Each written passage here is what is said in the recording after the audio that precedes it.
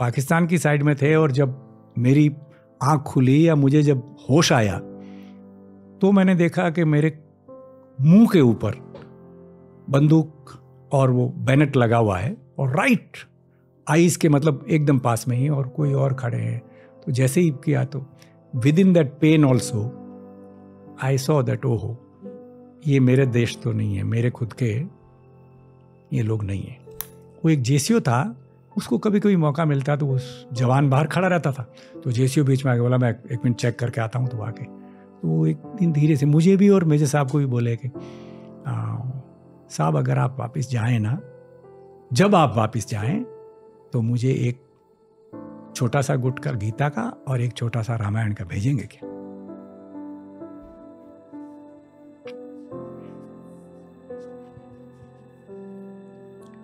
मैंने पूछा साहब आप क्या करेंगे? यू you नो know, ये बंदा मुझे क्या बोलता है? कि साहब मैं अपने ग्रैंड चिल्ड्रन को बताऊँगा कि ये हम लोग थे पहले। आज का पॉडकास्ट एक और मिलिट्री स्पेशल पॉडकास्ट है। मिलिट्री की एक पूरी सीरीज़ बनाई है हमने टीआरएस पर। आज का पॉडकास्ट थोड़ा ज़्यादा इंटेंस है क्योंकि जी आर चौधरी सर की स्टोरी एक लेजेंडरी इंडियन आर्मी स्टोरी है। ये भारतीय फौज के एक बहुत बड़े लेजेंड माने जाते हैं। क्योंकि इन्होंने ऑलमोस्ट एक साल पाकिस्तान में गुजारा as a P O W prisoner of war 1971 war में ये 21 साल के थे, जहाँ इन्होंने हमारे देश के लिए बहुत वीरता से बहुत सारे मिशन सक्सेसफुली अकॉम्प्लिश किए, पर 1971 वॉर के एंड में ये पाकिस्तानी आर्मी के थ्रू पकड़े गए कैप्चर किए गए। एक साल पाकिस्तान में बिताया आज के पॉडकास्ट में इनके नज़रिए जानेंगे, इनकी कहानियाँ जानेंगे और उस एक साल के बारे में और गहराई से जानेंगे। ये काफ़ी ज़्यादा इमोशनली हैवी पॉडकास्ट है तो हो सके तो ये अकेले में सुनिए, पर आई प्रॉमिस यू कि इस पॉडकास्ट के एंड तक आपके दिल के अंदर कुछ बदलेगा। इंडिपेंडेंस डे पर मैं बस ये कहना चाहूँगा कि इस पॉडकास्ट की शुरुआत हुई थी देश के लिए और ये पॉडकास्ट हमेशा भारत के लिए ही ऐसे कहानियों को सेलिब्रेट करता जाएगा। जय हिंद दोस्तों let support the Indian military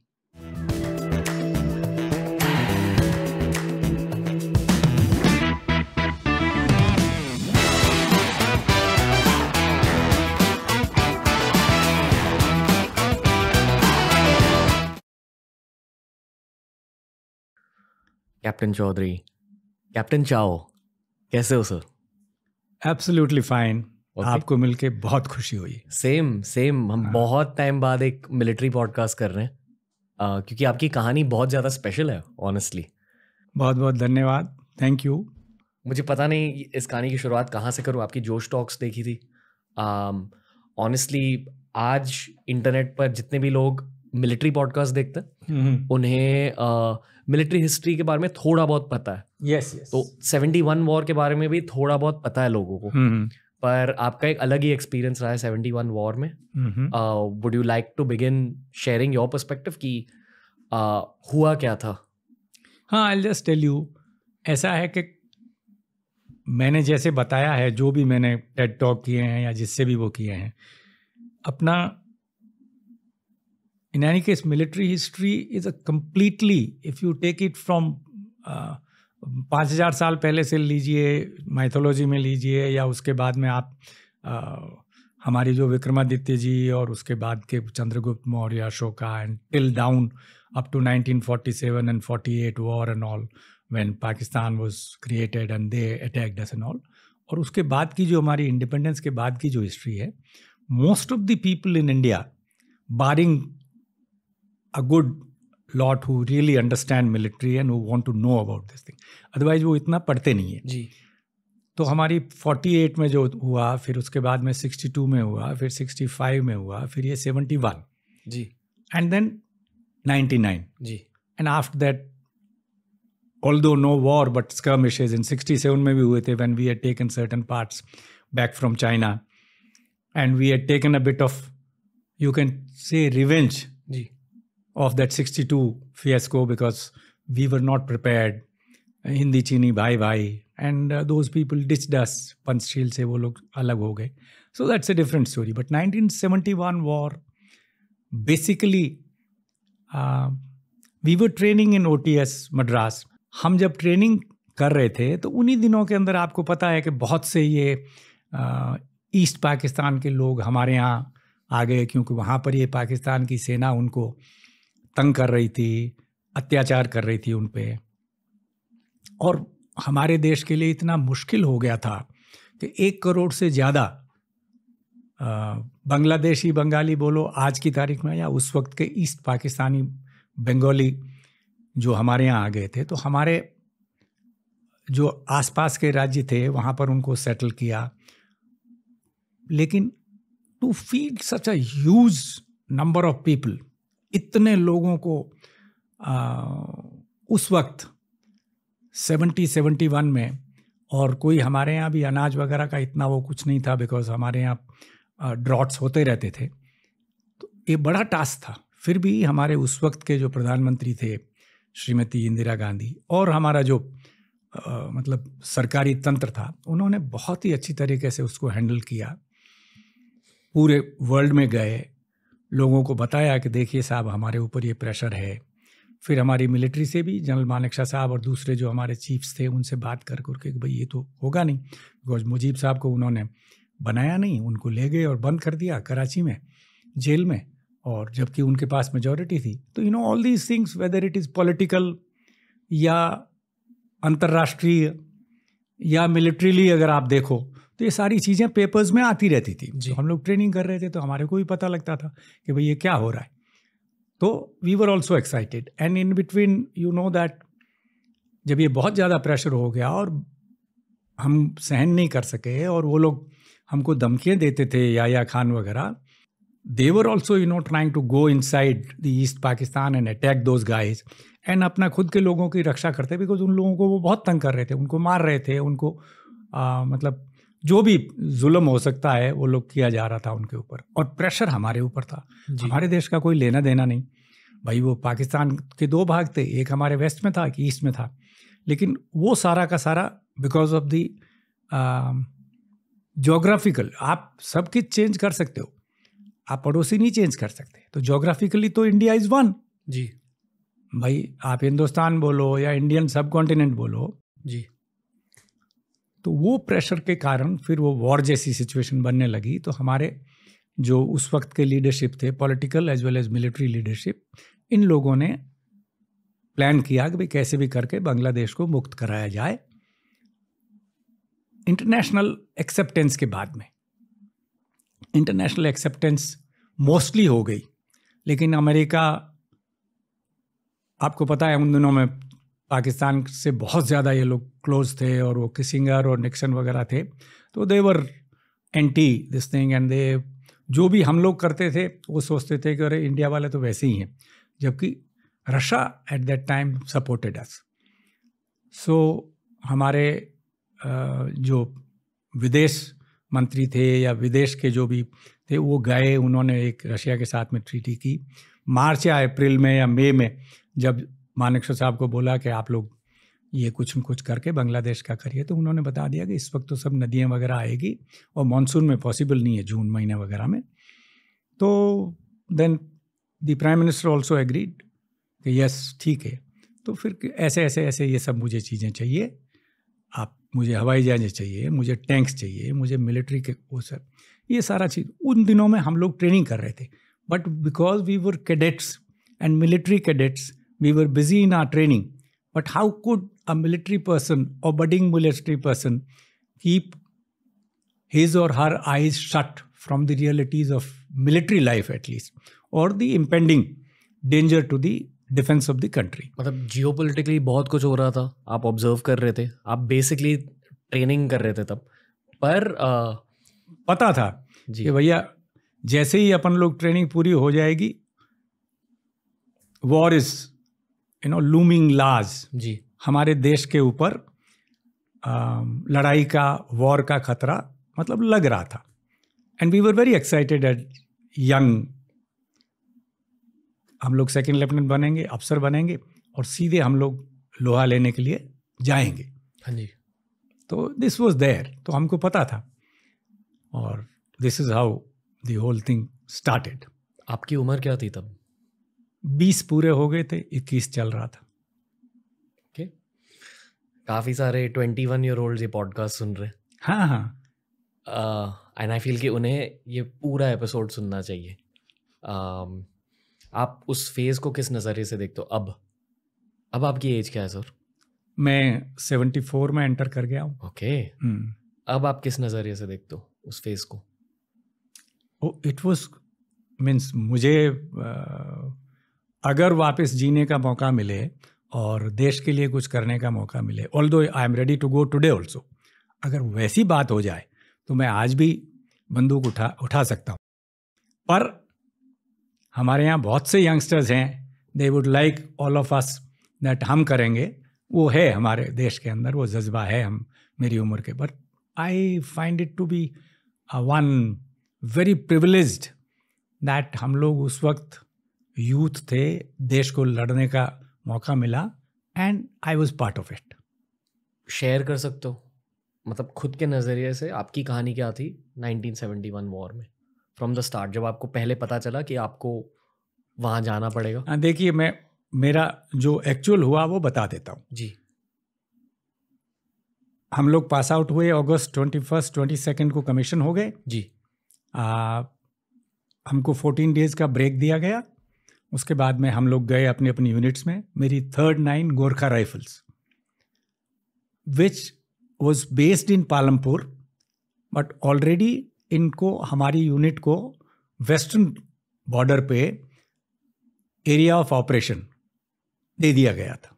तो मैंने रिपोर्ट किया पालमपुर में and within about a month September and mid October we were shifted to our op area और फिर क्या हुआ कि बारह तेरह की रात को जी। हमने एक शाहपुर गाँव था वहाँ पर वो लोग बैठे हुए थे और हमने हमारे ऊपर बहुत फायरिंग कर रहे थे और वो पोस्ट वो होल्ड करके बैठे हुए थे। हमने किया attack I was leading platoon commander और हमने उनको क्रश कर दिया। उनकी जो कंपनी स्ट्रेंथ थी उन लोगों को हरा दिया हमने। हमने उनमें से कई लोगों को कई वेपन्स और उनको कैप्चर कर लिया और शाहपुर पर हमारा कब्जा हो गया। जब हमने शाहपुर गाँव को कैप्चर किया था तो उसके अंदर नेक्स्ट डे मॉर्निंग हमने फिर हाउस टू हाउस सर्च किया बिकॉज़ रात में उनको डिफीट तो कर दिया। उनकी मिलिट्री तो वहाँ से चली गई, लेकिन क्या पता घरों में छुपे हों। तो हम जब हाउस टू हाउस जा रहे थे तो नॉर्मल गाँव होता है, जैसे कोई पंजाब का, राजस्थान का, सब आम, कोई कोई डिफरेंस नहीं है। भाई, उनके लोग और हमारे लोगों में क्या डिफरेंस था? एक, उससे पहले तो एक ही पंजाब था। या जो भी हिस्सा सामने था। तो हम लोग उस गाँव के अंदर गए तो एक गाँव के अंदर हमको एक लेडी, वो वहाँ पर थी। वो जैसे ही हमने गए तो अच्छा हमने एक दो देखा तो कहीं पर यू नो वो गुड़ रखा हुआ है तो वो मिट्टी का बर्तन है, उसके ऊपर वो बंद कर रखा है और ऊपर से वो, उसको सील कर रखा है, किससे? वो गोबर से। जैसे हमारे यहाँ भी करते हैं। पुराने ज़माने में कोई भी अच्छी चीज़ होगी, उसको कर लेंगे, जिससे कि बच्चे सारे दिन भर खाएँ नहीं या कुछ। तो एक बहुत थोड़ा बड़ा था, उसके अंदर चार पाँच शेर, वो घी था गुड़ था। तो उसकी छोटी छोटी बेलियाँ थी बिकॉज़ वहाँ गुड़ होता होगा। तो नेचुरली हम लोग जब आगे थे तो हमारे पास में ड्राई राशन ही होता है। तो हमारे लोगों को, हमारे जो मेरे जवान मेरे साथ थे, मुझे भी वो अच्छा। पहले तो हमने सोचा, यार, पता नहीं, कोई गड़बड़ नहीं है तो उसको थोड़ा सा चखा और फिर वो फिर ये लेडी बहुत घबरा गई और रोने लग गई। हमने रेडियो मैसेज किया कंपनी कमांडर को। कंपनी कमांडर ने सीईओ को क्या बोला कि चाऊ को बोलो कि उसको यहाँ बटालियन हेडक्वार्टर ले आए। साथ आए, जवानों के साथ। तो हम उसको लेके गए। तो मैंने बोल दिया, भाई, आप चलो वहाँ पर। तो वो बहुत डर गई। वो मतलब रोना बंद ही नहीं करे। मैं कहा, बहन जी, आप रोना बंद कर दीजिए, कोई बात नहीं।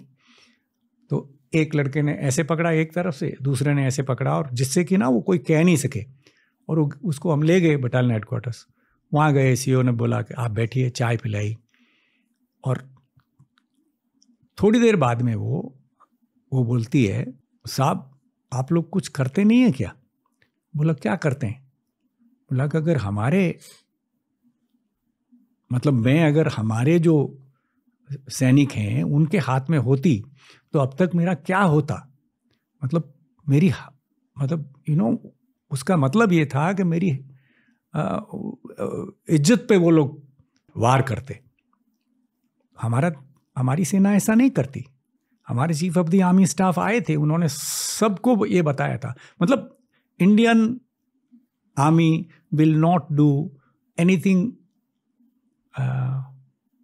unethical unethical और अनडिग्निफाइड और अन यू नो लाइक हाँ अन यू नो जो मतलब अच्छी नहीं है ऐसी कुछ नहीं करते। आपको बांग्लादेश में इन लोगों ने सब यही तो किया। तभी तो सारा का सारा मामला गड़बड़ाया।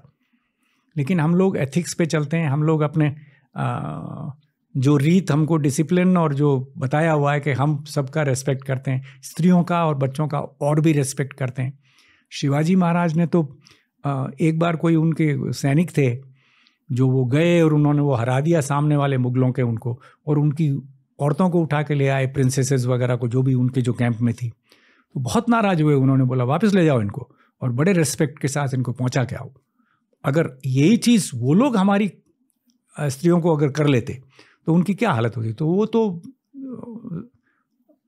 हमारे उसमें है ही नहीं। So our army General Manekshaw came and said that, please, please, I have been in Second World War, I have been in so many other posted.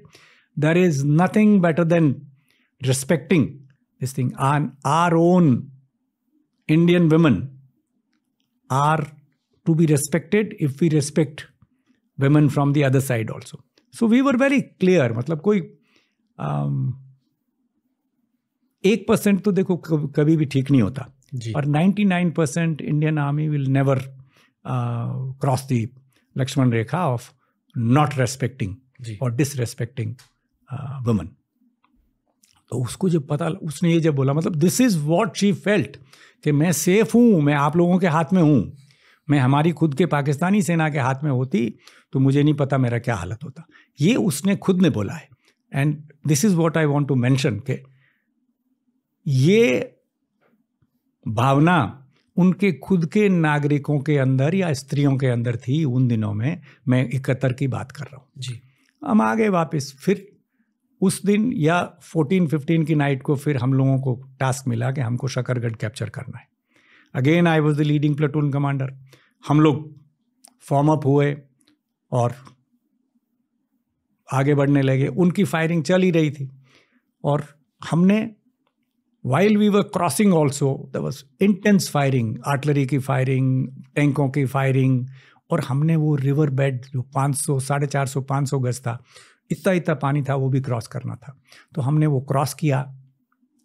Next side में जाके फॉर्म अप हुए। फायरिंग उनकी चल रही थी।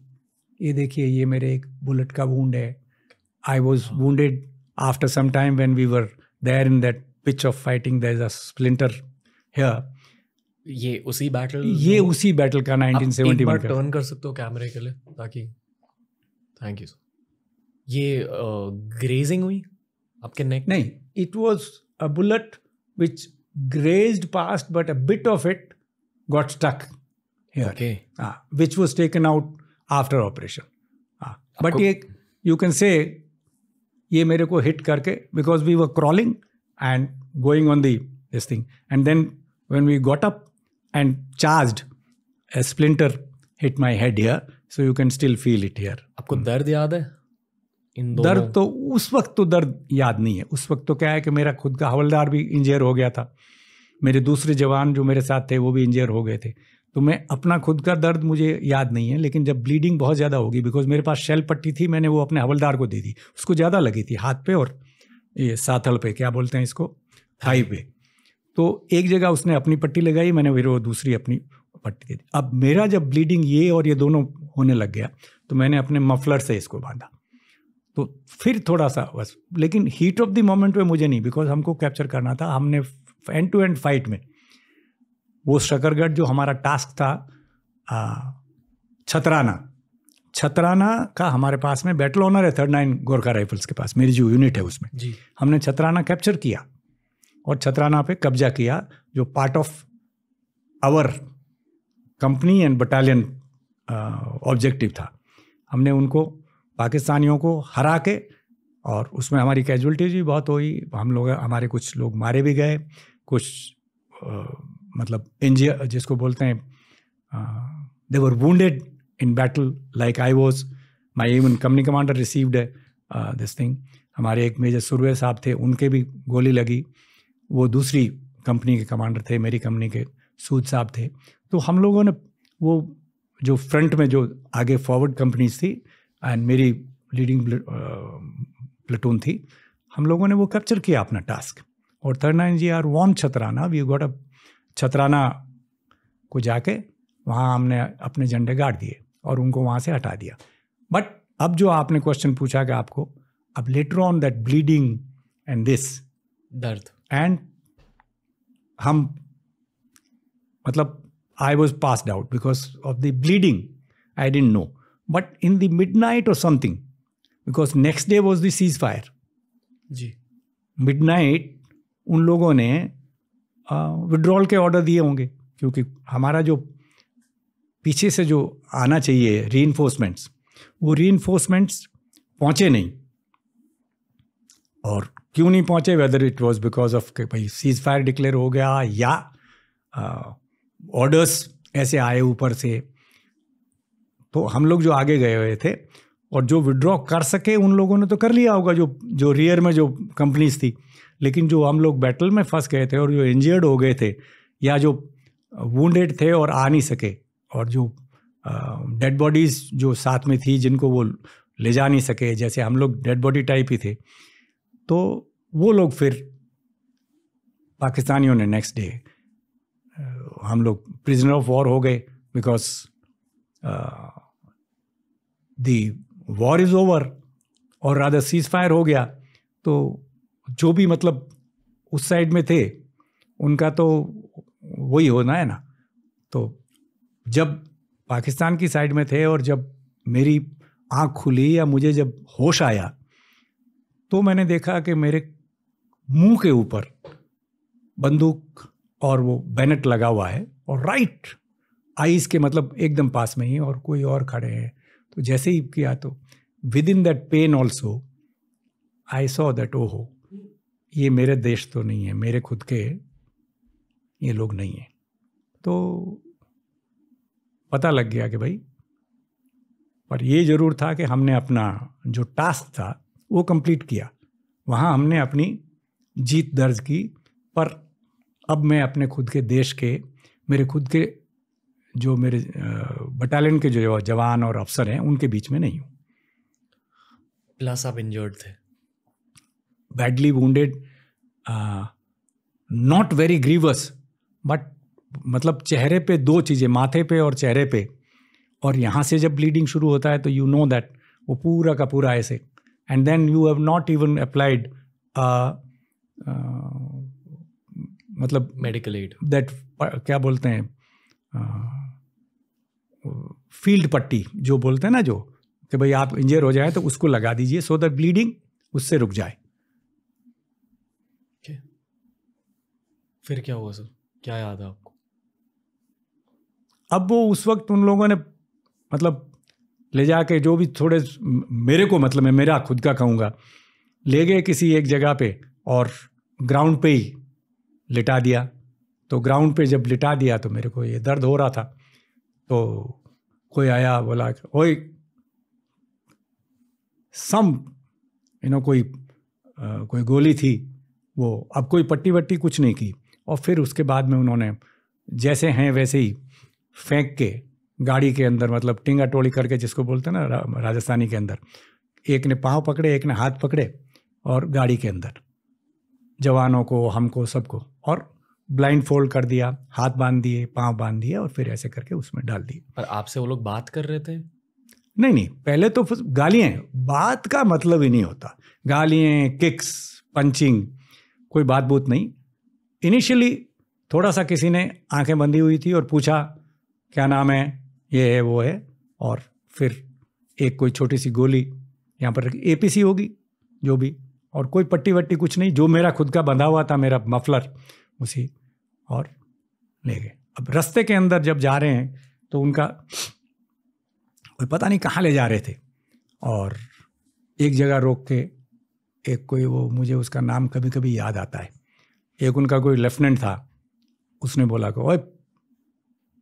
फिर नीचे डाला वापस सबको, खड़ा किया और एक दीवार के पास खड़ा कर दिया। हमें नहीं पता क्या है और एक साथ अब कितने जवान थे हमारे उतने। और फायर किया उससे स्टेन गन से। वो जितने भी बत्तीस राउंड आते हैं या अट्ठाईस राउंड जितने भरे हुए थे वो फायर करके अब एक दो उसमें मर गए, हम लोगों के सबके पाँव बंधे थे, हाथ बंधे थे, आँख बंद थी। लेकिन उसने कर दिया बिकॉज़ उनमें कई लोग ऐसे कर मार दो सालों को, ये कर दो, वो मतलब whatever they but we were all standing with no मतलब हम देख भी नहीं सकते क्या हो रहा है। Whoever died died but I again survive some of my colleague survive और उन लोगों ने वापस उसमें डाल दिया। फिर थोड़ा से और ले गए और मेरे को वापस नीचे उतारा उन्होंने। नीचे उतारा और मेरी पट्टी खोली और सामने वो वो उनका सम लेफ्टिनेंट, मुझे उसका नाम नहीं याद आ रहा है। तो वो ये वूंडेड और इनके दूसरे उस टाइप का वो ये काम करता था। उसने बोला है हवलदार, वाइट, तेरी गन दे। तो इसने अपनी बंदूक दे दी। और मेरे हाथ ऐसे बंधे हुए थे। उसने वो बंदूक ली और मेरे सीने पर रख मैं ऐसे ही खड़ा। और उसने यहाँ से करके उसको फायर कर दिया। मतलब मेरे कोनी और मेरे बदन के बीच में से। और ये बोलते, ओए, तू तू कॉक करके दी मैनू। लोडेड बोला, सर, तुसी मंगी। और उसने फायर कर दिया, फिर उसको दिया। और fire then he punch me here and there bastard क्या आप हमको अरेबियन सी में डालोगे? हैं? तू जानता तेरे प्राइम मिनिस्टर नू? मैं कैसा मैं तो सिर्फ़ मेरे सीईओ को जानता हूँ। और यूँ तो नाम तो प्राइम मिनिस्टर का हम भी जानते हैं। बोला, क्या हम, तुम काफिर लोग क्या हमको समुद्र में डालोगे? हमको मार दोगे? हम ऐसे कर देंगे एंड वैसे कर देंगे एंड हमारा सदर ने ऐसे बोला है, ये वगैरह नॉल और फिर गालियाँ गोलियाँ दे के वापस उछाल के उसके अंदर। मतलब दिस ऑल्सो एंड मुझे उसका नाम याद आ जाएगा तो you know he was just some category था वो मेडिकल कैटेगरी डाउन था, इसलिए यही काम करता था। But frustrated follow and after he fires the this thing he is asking him तू मैंने लोड करके दिता और लोड करके ही देगा वो अगर तू मांग रहा है बंदूक तो तो उसको तो पता है कि हम तो यही करते हैं। So this is one of the this thing like I told you about that उन उनकी स्त्री के बारे में बताया वैसे ये इसके आ, जब आप ब्लाइंड फोल्डेड थे आपके दिमाग में क्या चल रहा था? दिमाग में तो कोई कुछ नहीं चलता मतलब न्यूट्रल कोई कोई फीलिंग्स नहीं। आप जहाँ भी हैं whatever happens you have to take it in the right spirit this is what is the military training of Indian army और यही ट्रेनिंग हमारे घर से भी है कि जो भी होगा, ऊपर वाला करेगा। तो मैं तो पहले से ही मतलब बहुत ही स्टेबल धार्मिक और जिसको बोलते हैं ना एकदम सीरीन उस किस्म के पेरेंट्स का बच्चा हूँ मैं। आई वॉज़ नॉट वरिड मुझे कोई डर नहीं था। मतलब सिचुएशन का कंट्रोल अब आपके हाथों में नहीं मेरे को है तो भी कोई फ़र्क नहीं पड़ता मेरे हाथ में ही है। और मैं अगर किसी और के उसमें हाथ में हूँ तो भी क्या हुआ? मतलब पूरे जो मैं पाकिस्तान में साढ़े ग्यारह महीना रहा कभी भी एक पल के लिए भी ये नहीं सोचा कुछ नहीं कभी भी नहीं। साढ़े ग्यारह महीने सर। हाँ सॉलिटरी कन्फाइनमेंट भी देते थे खाना भी नहीं देते थे। कई बार मतलब प्रोवोक भी करते थे एक बार जब मेरी दाढ़ी बना रहा था तो वो बोल रहा है और तो सी और मतलब वो उनकी जो गालियाँ होती है और ऐसे करते और वो मेरी दाढ़ी बना रहा है। मुझे अच्छा नहीं लगा तो तो मैंने कहा, नहीं बनाऊँगा। तो सामने से वो सेंट्री देख रहा था, लायलपुर फोर्ट वाला, और उसने शिकायत की तो एक कोई आया उनका अफसर मैं कहा, सर, मैं नहीं बनाऊँगा। अगर ये मेरे को गाली देगा या मेरे देश के बारे में या धर्म के बारे में कुछ भी बोलेगा तो बोला, क्या हो गया? ये, वो करना। मैंने कहा, साहब, जो भी बात करनी है, ये मतलब अपना, ये दाढ़ी बनाने के लिए दाढ़ी बनाए। क्यों मुझे काफिर बोले? क्यों माँ बहन की गालियाँ बोले? मैं नहीं कटाऊँगा इससे। तो फिर उन लोगों ने मुझे सोलिटरी कन्फाइनमेंट दे दिया। एक सेल में बंद कर दिया। और जहाँ मच्छर ही मच्छर। और बड़ा मतलब अब नेक्स्ट डे क्योंकि दाढ़ी तो वो बनाएँगे ही बनाएँगे कि भाई कहीं भाग ना जाए या कहीं कुछ नहीं। दाढ़ी कितनी थी? दाढ़ी बस इतनी सी दाढ़ी जितनी आपकी है ना, उससे भी नहीं। तो नेक्स्ट डे दूसरा नहीं आया। ये नहीं आया जो ये वहाँ का जो पाकिस्तानी था। ये जो नहीं आया था, ये भी कैदी था, लेकिन ये हमारे हिंदुस्तान से उधर गया हुआ था। तो वो इंडिया के पंजाब से पाकिस्तानी पंजाब में क्रॉस हो गया था, नाइनटीन फोर्टी सेवन में उसकी फैमिली ये आया, ये कैदी था, इसने कुछ किया होगा तो उसी जेल के अंदर हम लोग जो जो लायलपुर फोर्ट में थे तो पार्ट ऑफ़ उस जेल में उनके कैदियों को भी रखा हुआ था। इनफैक्ट जिस सेल के अंदर मैं बंद था, वहाँ भुट्टो साहब को भी रखा था। याया साहब ने या उससे पहले अयूब ने किसी ने भुट्टो साहब को उस जेल में पहले रख रखा था, जो बाद में प्राइम मिनिस्टर भी बन गए भुट्टो साहब। तो मेहरोत्रा साहब थे, captain Mehrotra and me, we were both partners in that. तो मैं जो आपको बता रहा था ना तो वो नाई मेरे को जब करे तो मुझे बहुत मच्छर काट गए रात को। तो मैंने उसको बोला, यार, ऐसे ऐसे मेरे को बोला, साहब जी, मैं, वो फिर खुल गया वो। और वो संतरी थोड़ा सा दूर खड़ा था। बोलता है मैं तो साहब उधर से इतने आ गया ऐसे बड़ा, मैनू वापस हिंदुस्तान जाना। मैंने कहा, यार, हम तो खुद यहाँ पर यहाँ बैठे हुए हैं। क्या हो गया? बोला, नहीं साहब इधर कुछ भी नहीं। मैं बड़ा मिस करता उधर। मैं भाई, तुमको क्या हो गया? तो बोला, साहब, ऐसे ही मैं जा रहा था तो मेरी बहन को किसी ने छेड़ दिया तो मैंने उसको मतलब इंजर कर दिया तो मुझे जेल हो गई थी। तो बस के अंदर हम जा रहे थे। तो फिर बोला, साहब, मैं आपको ये एक छोटी सी बॉटल थी उसने। डिटॉल ये देता हूँ, ये आप रगड़ देना। मैंने क्या के लिए। हाँ बोला, आप रगड़ देना। अच्छा मैंने रगड़ दिया, लेकिन मैंने क्या किया, उसको डाइल्यूट किए बिना ही रगड़ दिया तो पूरी मेरी स्किन जल गई जगह जगह। और मच्छर कोई, उससे कोई रुकते नहीं थोड़ी देर बाद में।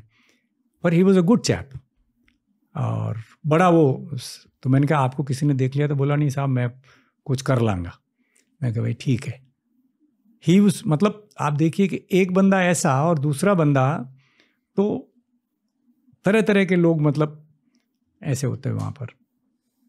फिर आपको पता पता है शिमला एग्रीमेंट हो गया। Sorry we'll have to talk a little bit more हाँ। मुझे थोड़ा और जानना है हम्म। इस फ़ेज़ के बारे में स्पेशली जब आपको पहली बार उस जेल लेके गए?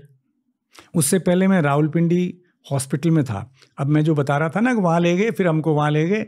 ये गोली वगैरह का कांड हुआ फिर हमको पहले ले गए जेल के अंदर रावलपिंडी की। जी। वहाँ जेल के अंदर रात को रहे तो मेरा ये ब्लीडिंग बहुत ज़्यादा हो गया। अब सहन करने लायक नहीं था। तो मुझे एक सेल में डाला नीचे ही। तो वहाँ पर एक छोटा सा पत्थर था। छीण नहीं होती है, जो अपन पट्टी जो लगाते हैं वैसे। तो वो पट्टी थी और वहाँ नीचे मतलब समझिए इतनी सी। ठीक है ना? अब छोटी थी। तो अब मैं अगर अपना सर वहाँ पर रखूँ तो मेरे पाँव लटके। तो मैंने उनको बोला कि मुझे कोई ये दे दीजिए, बहुत पेन होता है बिकॉज़ ऊपर से भी ब्लीडिंग करके मेरे शरीर में जा रहा था और ये वाला तो जा ही रहा था। तो वो एक उनका कोई मेजर साहब था तो बोलता है, बड़ी काफिर तेनू, ये चाहिए और बहुत ज़ोर से गालियाँ वालियाँ बोले और मैंने कहा, साहब, दे दीजिए। मतलब इतना ज़्यादा तो आप बोल नहीं सकते जितना मैं अभी बोल रहा हूँ। तो और फिर बोला, कौन हो तू? मैं कहा, साहब, मैं second lieutenant G R Chaudhary, मैं ऐसे बोला, नहीं, तू, तेरा की है, तू, जाति की है तेरी? मैं कहा, साहब, मैं तो जाट हूँ। तो बोला, तू कितना जाट हो सकता है? जाट तो असिया तू काफिर मतलब that fellow didn't even know that हम लोग सब एक ही थे। ये तो हमारे जो जो भी हमारे राजा या जो भी हमारे उच्च लोग थे, वो हमें बचा नहीं सके। तो या तो हमारा पूरा गाँव कन्वर्ट हो गया, या हमारे कुछ लोग जो पुअर थे और निचले तबके के थे, वो कन्वर्ट हो गए। बाकी अपनी मर्ज़ी से कौन कन्वर्ट हुआ? लेकिन ये कहना कि वो लोग डिफरेंट है और वो लोग कुछ जाति के हैं और हम लोग कुछ और जाति के every caste you will find among the Pakistanis मतलब हर कास्ट के लोग कन्वर्ट हुए from top to bottom bottom more because उनको किसी, कोई बचाने वाला नहीं था, उनकी कोई रक्षा करने वाला नहीं था। तो उनको तो एनमास ही लोग कन्वर्ट कर, करवाते गए, लेकिन वो सारे के सारे इंडियन सब कॉन्टिनेंट के हैं, हमारे जम्बूद्वीप के हैं, भारतवर्ष के हैं, जो सदियों से पाँच हज़ार साल पुरानी संस्कृति हमारी। वो बाहर से नहीं आए कोई, बाहर से जो आए वो क्या, एक, दो, पाँच, दस, चार, वो तो हमारे जैसे हो गए। गालिब नहीं शेर व शायरी करता था। नहीं उर्दू के अंदर करता था। उर्दू तो हमारी लैंग्वेज है, लखनऊ में डेवलप हुई है। तो वो लोग थोड़ी है, कोई ये आप समझते हो, अरब या अफ़गानिस्तान या वहाँ के कोई कंधार वॉज़ ऑल्सो आवर्स तो सब वही है स्टॉक वही है। पर this is how it is फिर पता नहीं आफ्टर सम टाइम एक बंदा आया। खाने पीना तो मतलब ही नहीं होता because I had two holes one here and one here तो कोई भी चीज़ डालेंगे वो तो बाहर निकल जाएगा बिकॉज़ यहाँ तीन उंगलियाँ अंदर जा सकती थी। oh.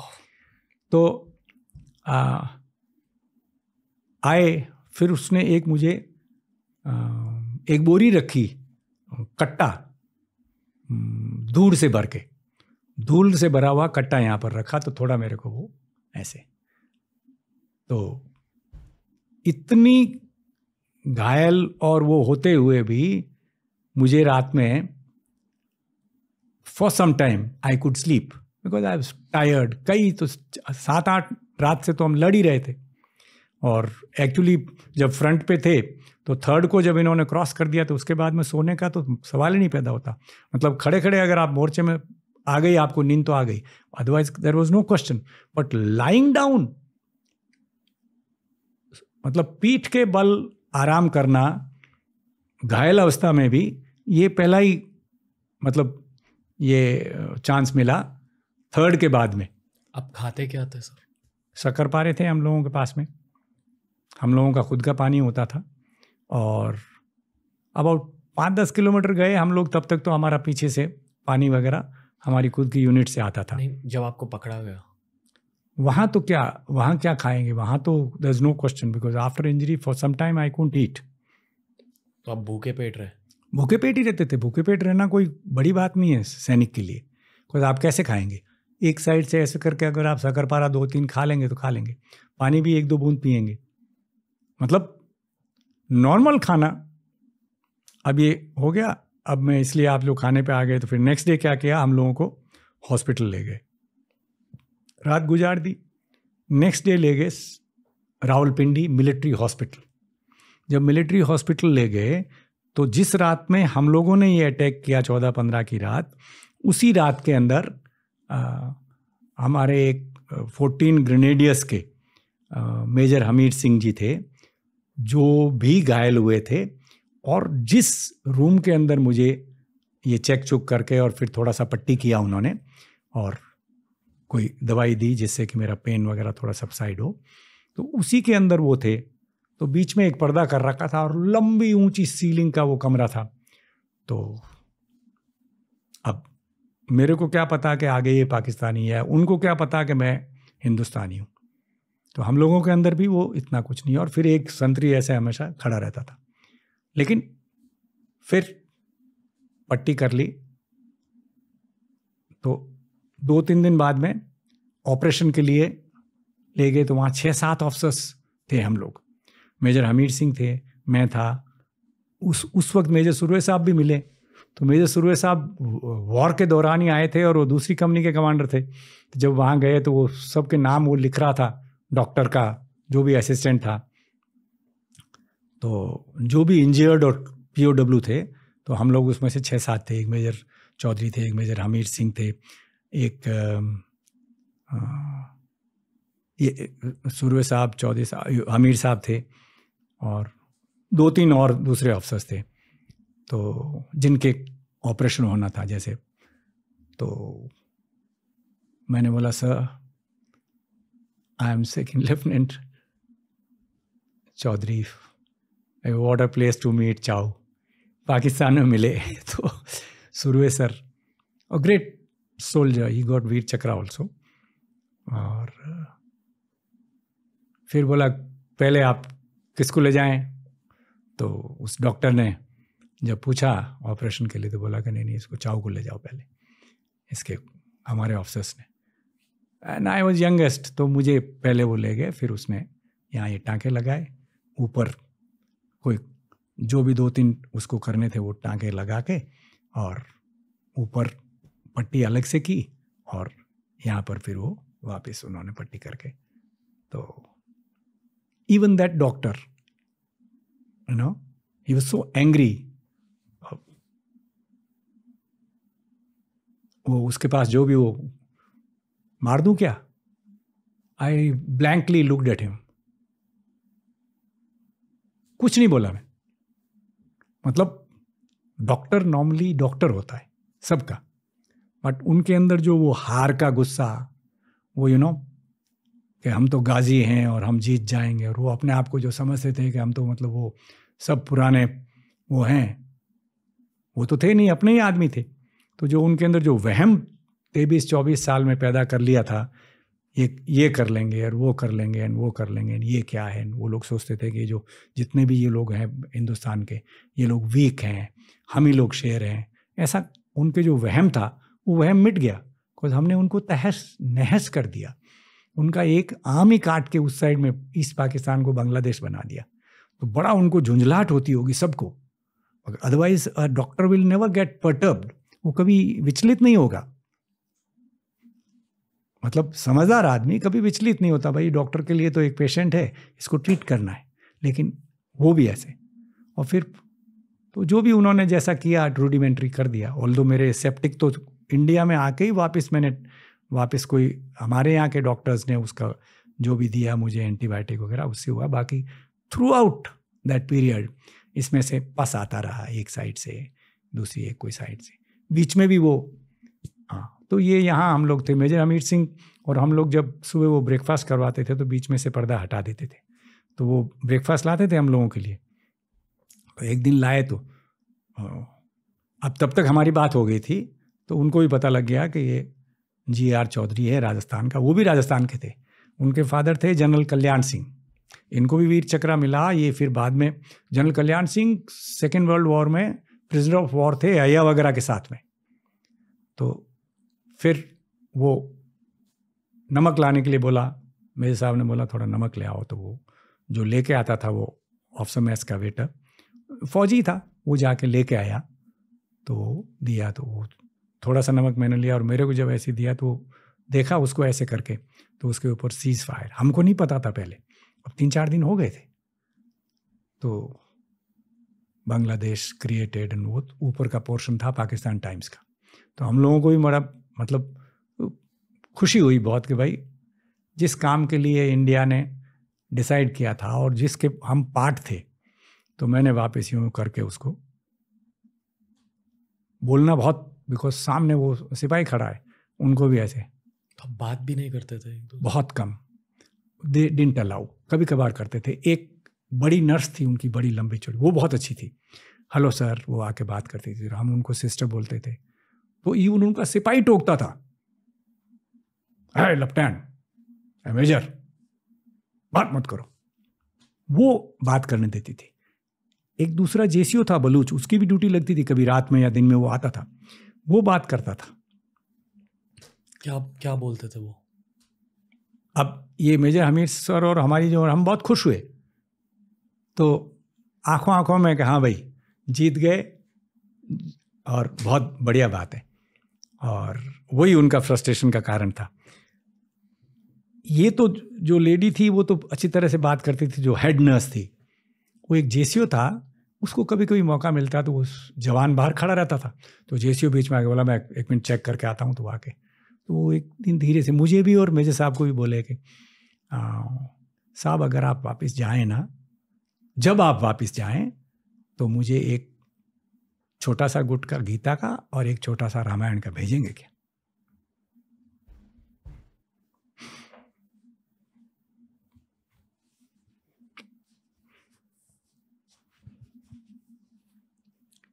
मैंने पूछा, साहब, आप क्या करेंगे? उसका नाम तो ममडा नहीं था ना, बलूच था। बड़ा सही आदमी।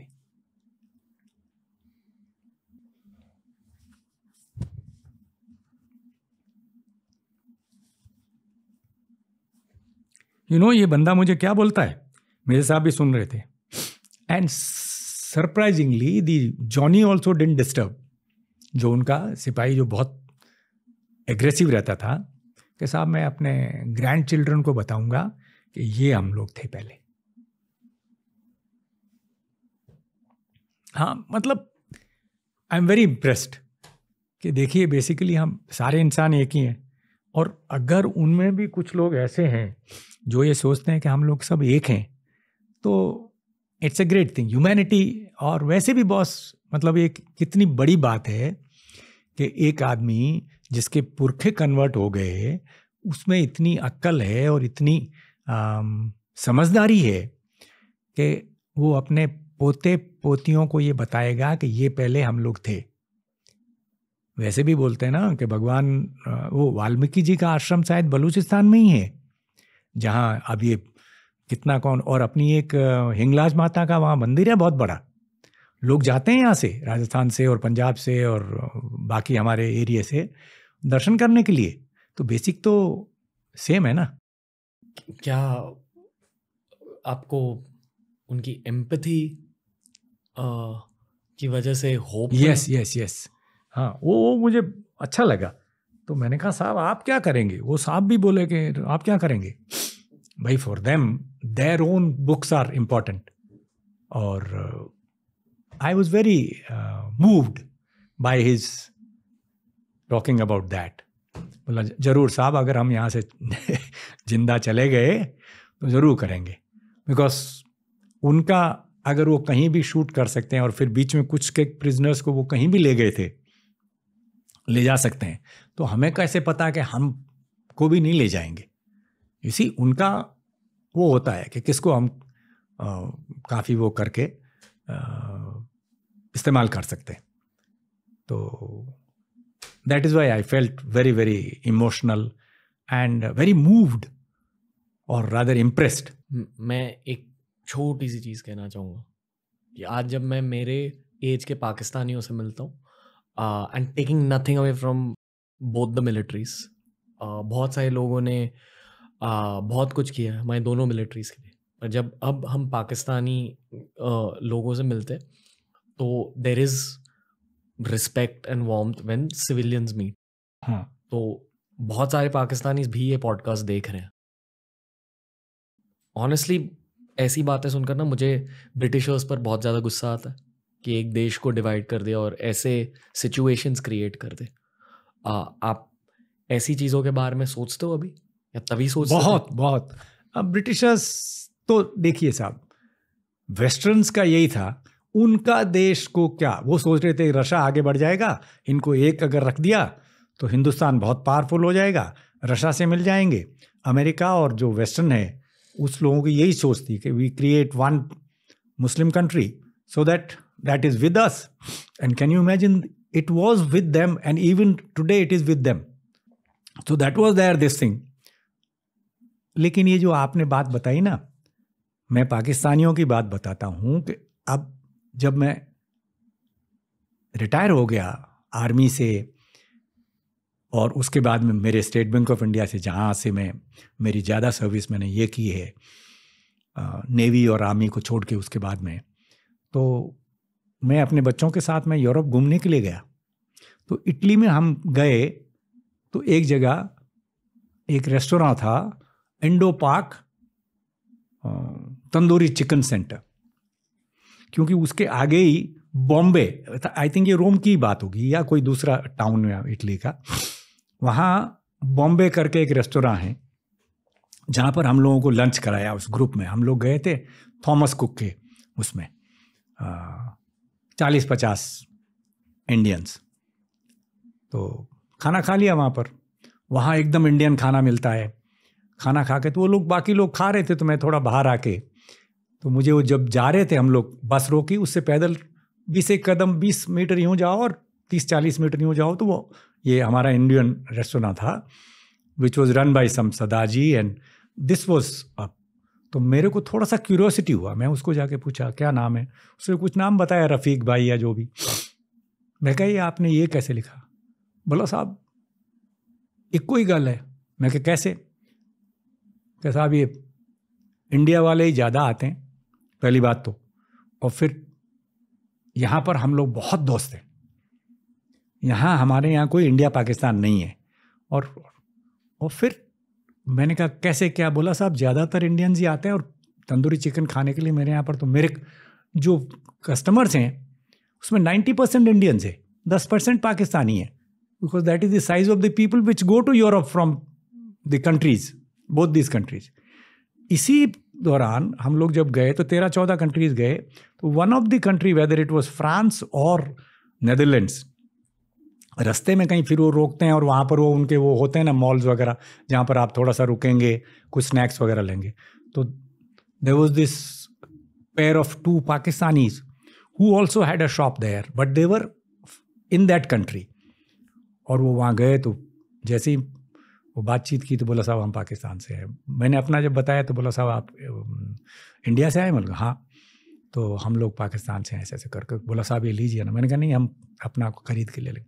दे इंसिस्टेड और बोला, नहीं साहब, ये तो आपको ले और उन्होंने अपनी तरफ़ से वो कोल्ड ड्रिंक पिलाया and they gave me some snacks young boys like you और even like there was youngster ना somewhere no like that girl young और बड़ा मतलब दे ऐसा लगा ही नहीं है जैसे कि मतलब वो मेरे खुद के बच्चे मेरे साथ हैं my daughter my granddaughters my son in law my wife सबको बुला के बोला नहीं। तो वो लोग भी सरप्राइज़ हो गए। क्या करें? They want to treat us मतलब उस आदमी को इतना ऐसे हुआ जैसे वो अपने खुद के पेरेंट्स को या ब्रदर्स एंड सिस्टर्स को ट्रीट कर रहा है। सवाल ही नहीं पैदा होता। मैं बहुत सारे पाकिस्तानी से मिला हूँ। जब भी दुबई जाते हैं तो बहुत सारे पाकिस्तानी मिलते हैं। um, किसी ने भी डिसरिस्पेक्ट नहीं किया किसी ने भी uh, एक नेगेटिव वाइब नहीं दी है ही नहीं है नहीं। People to people there is nothing ji. It is आप ये बात कर रहे हैं देखिए हम वहाँ से रावलपिंडी से थोड़े दिन रहे थोड़ा सा वो कर दिया तो naturally they didn't want to take their own injured were so so many उनके खुद के लोग बहुत मारे गए और इंजर्ड थे वुंडेड थे तो they wanted the hospital to be तो हम लोगों को हफ़्ते दस दिन के अंदर वहाँ से निपटा के, मेरे हिसाब से मुझे पूरे दिन याद नहीं है मे बी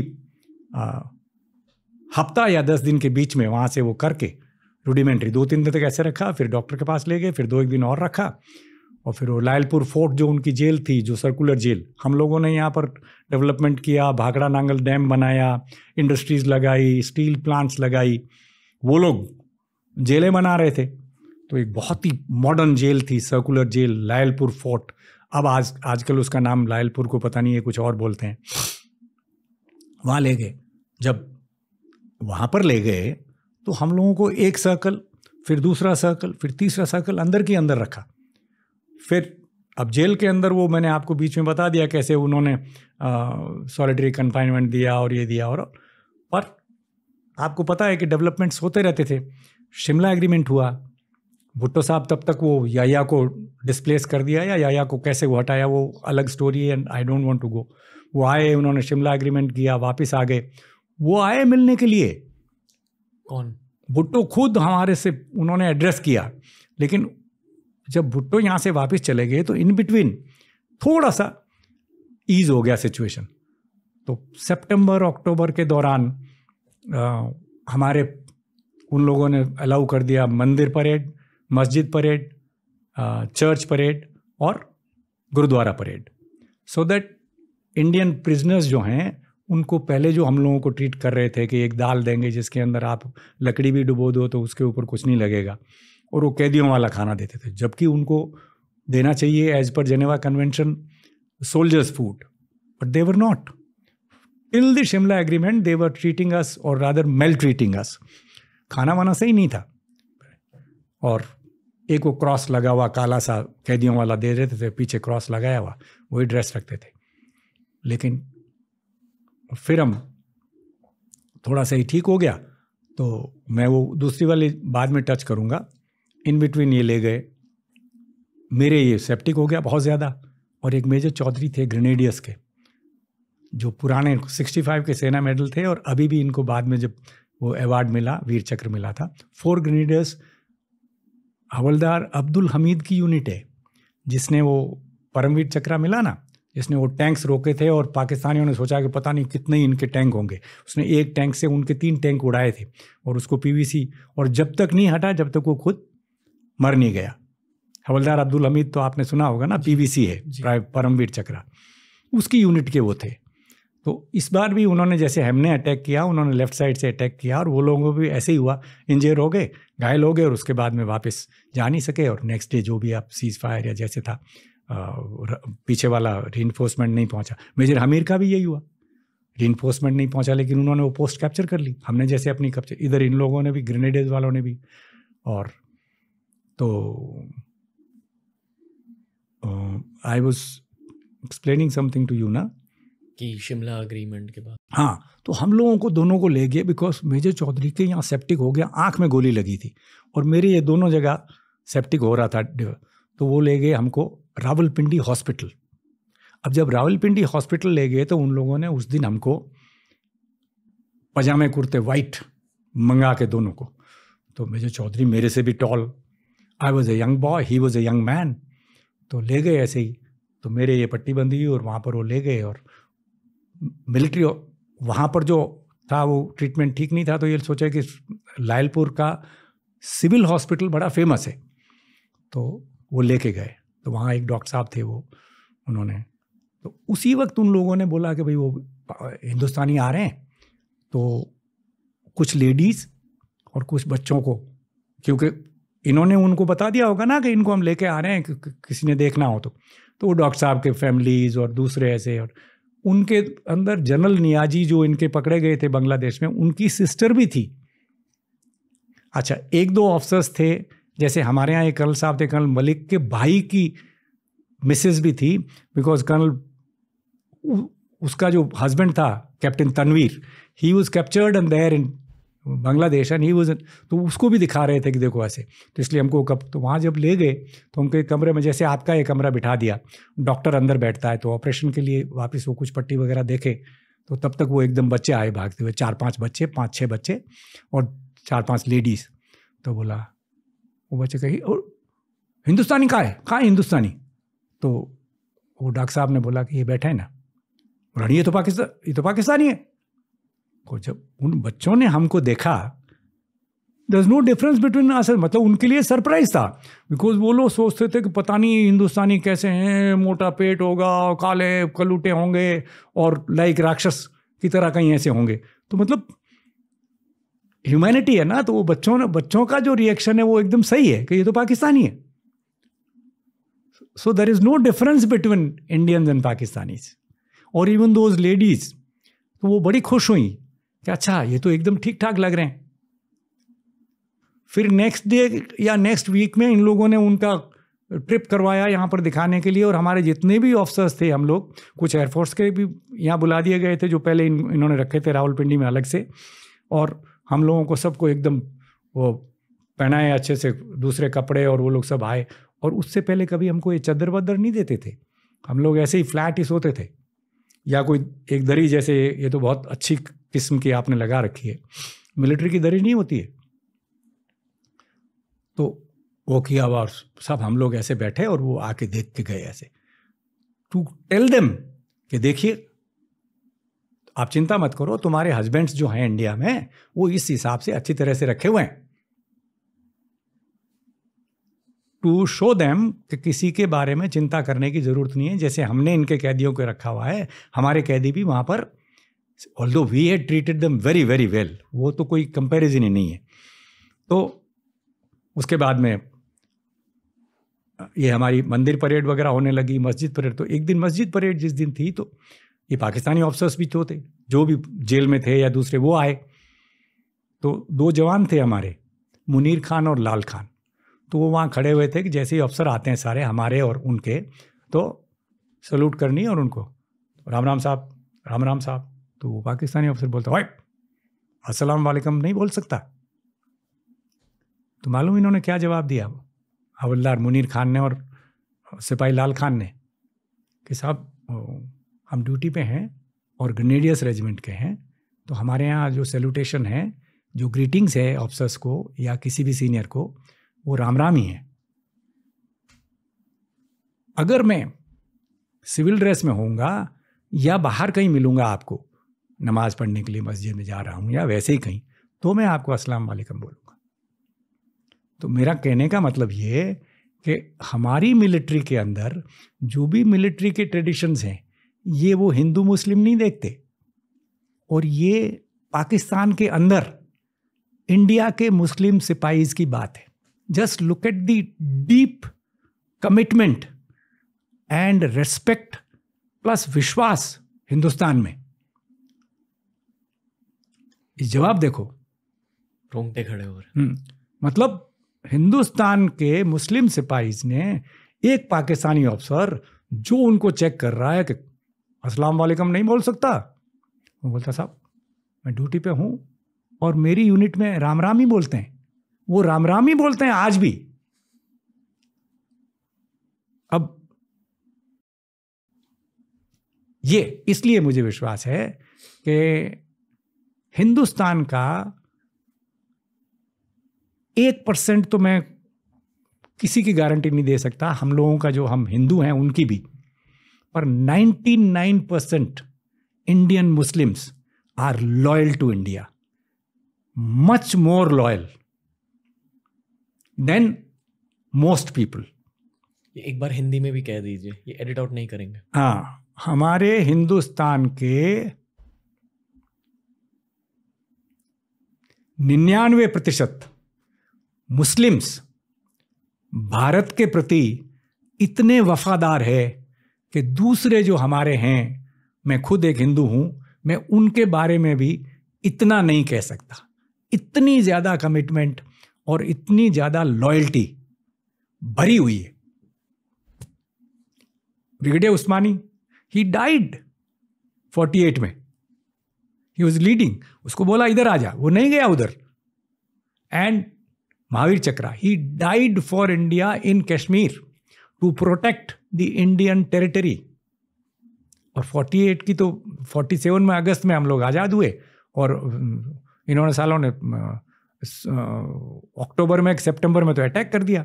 उससे पहले थोड़ा सा ट्राई किया उन्होंने, या उसके बाद में था वो तो 62 के पहले उन्होंने या कच्छ में ट्राई किया था। वो देवर पोकिंग एवरीवेयर जब राइट विंग और लेफ़्ट विंग का पॉलिटिकल प्रोपोगेंडा हिंदूज और मुस्लिम्स को एनिमीज़ के तौर से ट्रीट करता है या हमें बताता है कि नहीं, आपको मुस्लिम से एनिमिटी करनी चाहिए या मुस्लिम्स को बताता है कि हिंदू से एनिमिटी करनी चाहिए। एज अ फौजी आप क्या सोचते हो? आपने जो लाइफ जी ली है, जो चीज़ें देखी है, क्या चलता है आपके दिमाग में, आपके दिल में? पहली बात तो मैं आ, मुझे किसी के प्रति कोई आ, ना तो ज़्यादा लगाव है ना किसी के प्रति मुझे कोई गुस्से भाई मैं हाँ ये नहीं गुस्सा तो बहुत बड़ा वर्ड है कि भाई कोई आ, उनसे मुझे प्रीत नहीं है। जी। आई एम न्यूट्रल जो मैंने अभी बताया इंडियन मुस्लिम्स के बारे में अपीजमेंट ठीक नहीं है। मतलब उनको बहुत ही ज़्यादा वो कि भाई अपीज करते जाओ। लेकिन उनके पीछे पड़ जाना या हर चीज़ के भाई यही दोष देना, जिसको बोलते हैं ना राजस्थानी में, लारे पड़गा मतलब पीछा ही कर लिया उनका कि कोई भी चीज़ जो गलत होती है, वो मुस्लिम्स के कारण है, ये टोटली गलत है। ये नहीं होना चाहिए। मैं इस चीज़ में मतलब मैं आपको कहना चाहता हूँ कि मैंने बहुत क्लोज से मौत के मुँह में आ, हिंदुस्तान के मुस्लिम सिपाहीज और आ, दूसरे जो है उनको मैंने देखा है। मैं आपको एक छोटी सी चीज़ इसमें अगर बताऊँ अगर आप कहें तो। हम्म, मैं आपसे एक ही चीज़ कहना चाहता हूँ कि जब मैं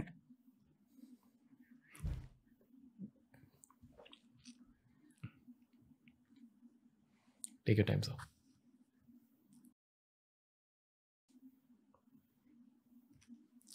we all feel a lot of pride for the Indian military so ये मिलिट्री से पहले की बात है। हाँ नहीं मिलिट्री में था मैं। I was in the navy और something at that time because I was a boy and then I serve there and then after that I got commission and went to the army ji. So मैं बताता हूँ आपको कि मेरी जब शादी हुई ना तो आपको पता है कि पहले आपको वो शादी से तीन चार दिन पहले ही मतलब वो दूल्हा बना देते हैं और फिर आपकी पीटी वीटी वो की जाती है। हल्दी वगैरह से एंड देन धीरे धीरे धीरे। और नेक्स्ट डे जब आपने जाना होता है बारात लेके तो इंडिया के अंदर सिस्टम है कि दूल्हे को उस दिन बंदोली बोलते हैं राजस्थान में। तो बीन बनाएँगे मामा जी जो कपड़े लेके आते हैं वो पहनाएँगे। नेक्स्ट डे आप अपने पिताजी के या चाचा जी के लाए हुए पहनते तो आपको डांस वांस करेंगे और मैं बात कर रहा हूँ आपको, फिर बहुत पुरानी। तो अब वो ले गए हमको लेके मंदिर। जब मंदिर की तरफ़ ले गए तो मंदिर में वो नाचते, गाते, सब वो लेडीज़ नाच रही वगैरह। मंदिर में जाके, मंदिर में आप जाते हैं, नारियल मतलब एक गुड़ाते हैं, भगवान के दर्शन करते हैं और कुछ भेंट करते हैं, फिर वहाँ पर आप दूल्हा बैठ जाता है और फिर चार डांस करते हैं, मेल्स, ठीक है ना? एंड जो राजस्थान का जो कस्टम है तो गाँव में वो पंडित जी होते हैं, वो श्लोक बोलते हैं। वेदों का, शादी के टाइम का। तो मेरी शादी के टाइम में पंडित जी घेवर महाराज थे, बहुत पुराने। अब वो याद करें और रात के बारह बज गए और उनको याद नहीं आए। ठीक है ना? अब वो कर रहे हैं कि हाँ बाप जी वो अच्छा बाकी किसको आएगा? सारे किसान हैं। My father was very religious लेकिन वो श्लोक उसी वक्त आने का तो सवाल नहीं पैदा होता। तो एक तेली जो मोमडन हमारे गाँव में। मोम, मैं आपको एक चीज़ बताऊँ कि मोमडन्स, मैं जब बच्चा था या मैं जब तक ये 2014 से पहले मोमडन्स को एक कास्ट गिनते थे कि भाई ये इसकी जाति मतलब जैसे हमारे यहाँ जाति है ना, आपकी जाति है, इनकी जाति इनकी जाति। अलग से रिलीजन की टाइप का ये फीलिंग नहीं था। अच्छा तुम्हारी जाति कैसा? मैं मुसलमान हूँ तो मुसलमान को जाति ही गिनते थे, कोई फ़र्क नहीं पड़ता था। मतलब मैंने ये समझा। इसके बाद में अभी आजकल क्या हो रहा है वो डिफरेंट है। लेकिन इट वॉज़ समझ। तो रूप खां। अब देखो इनके नाम भी ऐसे ही होते थे। रूप खां, अर्जुन खां, नो? ठीक है एका देखा सदीक खां रख दिया, सकूर खां रख दिया। लेकिन फलानी बाई, फलानी। तो रूप खां ने बोला बाबू जी आप नहीं बुरा मानो तो मैं श्लोक बोल दूँ क्या? तो नेचुरली उन्होंने बोला करो थने कोई था वॉट विल यू नो बोला, नहीं, मुझे याद है. He recited the shloka that's why I am getting sentimental just look at it शाम को भजन गाते थे तो हम तो छोटे छोटे बच्चे थे पहले। अब तो मैं थोड़ा बड़ा हो गया, शादी लायक ऑल दो मेरी चाइल्ड मैरिज ही थी। तो वो ढोलक बजाएँगे, बाजा बजाएँगे, भजन गाएँगे साथ में। ये सब चलता था।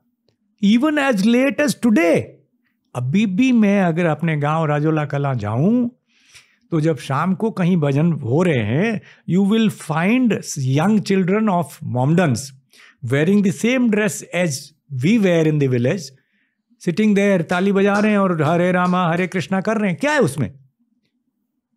दस नथिंग वट इफ़ ही हम इसको इतना बड़ा बना दें कि हर चीज़ इनके कारण है हर चीज़ हर प्रॉब्लम इनके कारण है ये गलत है बिकॉज़ ये एक जाति समान है। हम्म, कुछ भी नहीं है मतलब आप कहीं भी जाओ नहीं साहब मैं जोधपुर में रहता हूँ और जोधपुर में शाम को घूमने के लिए जाओ या सुबह घूमने के लिए जाओ यू विल फाइंड जो लोग उस गंगा जमनी तहजीब में पैदा हुए उसमें उनकी नौकरी लगी उसी तहजीब में वो पेंशन पाई, सारी प्रॉपर्टी बनाई, सारा का सारा जो मतलब खड़ा किया है उन्होंने अपना खुद का, उनके बेटों की नौकरियाँ लगी, उनके पोते उसी टाइम में नौकरी में लग गए। वो लोग भी आज बैठ के वही बात करेंगे मतलब उनकी दिमाग ऐसे हो गए हैं कि बिना इसके कोई टॉपिक ही नहीं है। आई एम सरप्राइज़ मतलब मैं अगर ये बात करने लग जाऊँ, जिसने ये देखा है सारा का सारा तो हकीकत को एक तरफ़ रख के हम सिर्फ़ हिंदू मुस्लिम हिंदू मुस्लिम बात करते हैं।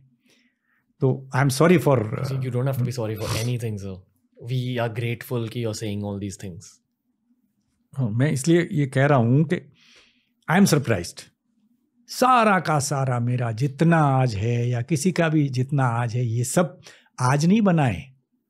ये अभी नहीं बनाए नौ साल में। ये सब बहुत पहले से बन रहा है। और ये धीरे धीरे धीरे धीरे एक एक ईंट लगती गई और इमारत बनती गई। मैं आपको पूछने वाला था कि आपको क्यों लगता है कि भगवान ने आपको ऐसी किस्मत दी? जब आपको ग्यारह महीने साढ़े ग्यारह महीने। साढ़े ग्यारह महीने एक पी की तरह रखा गया। पर प्रॉबली दी आंसर्स ताकि आपको इवेंचुअली एक वॉइस मिले। जो आप कह रहे हो जो आपके फीलिंग्स हैं जो आपके थॉट्स हैं। हाँ मुझे आ, इंसान हम लोग आ, हमारा क्या धर्म है? मेरे पिताजी ने भी मुझे सबसे मतलब मैं छोटा सा तब तभी से ओम श्रीमन नारायण ओम नमः भगवते वासुदेवाय हमारे कान में कहा गया। मैं पाँच या छः साल का था तब गुरु आ गए हमारे अयोध्या से आए थे। उन्होंने हमें ये दिया। हनुमान चालीसा तो मतलब आज मेरा पोता भी हनुमान चालीसा मतलब हमारे घर के अंदर सारा का सारा कल्चर है कि बिना पूजा किए हुए, शाम की और सुबह की I also don't eat anything every day my father read the Gita every day even today हमारे जितने घर है, सबके अंदर भगवान का मंदिर है और हम लोग रामलला की ही पूजा करते हैं। जो हमारी आरती है, वो है जय जानकी नाता स्वामी, जय श्री रघुनाथा दोकर ज़ोर विनव करु सुन मोरी वाता। और फिर सियाराम लक्ष्मण भरत शत्रुघ्न संग चारू। हम्म, भैया। और हम्म, जगमग जोत झिलामिल शोभा अति लैया यही हमारी आरती है। हम हमेशा यही आरती करें इसके पाँच स्टांजाज है। तो और ये तुलसीदास जी की लिखी हुई है। जी। अगर हम ये आरती कर रहे हैं तो आप मुझे बताइए क्या मैं हिंदू नहीं हूँ? क्या मैं इंडियन नहीं हूँ? क्या मैं अच्छा सनातन धर्म वाला नहीं हूँ? ये है।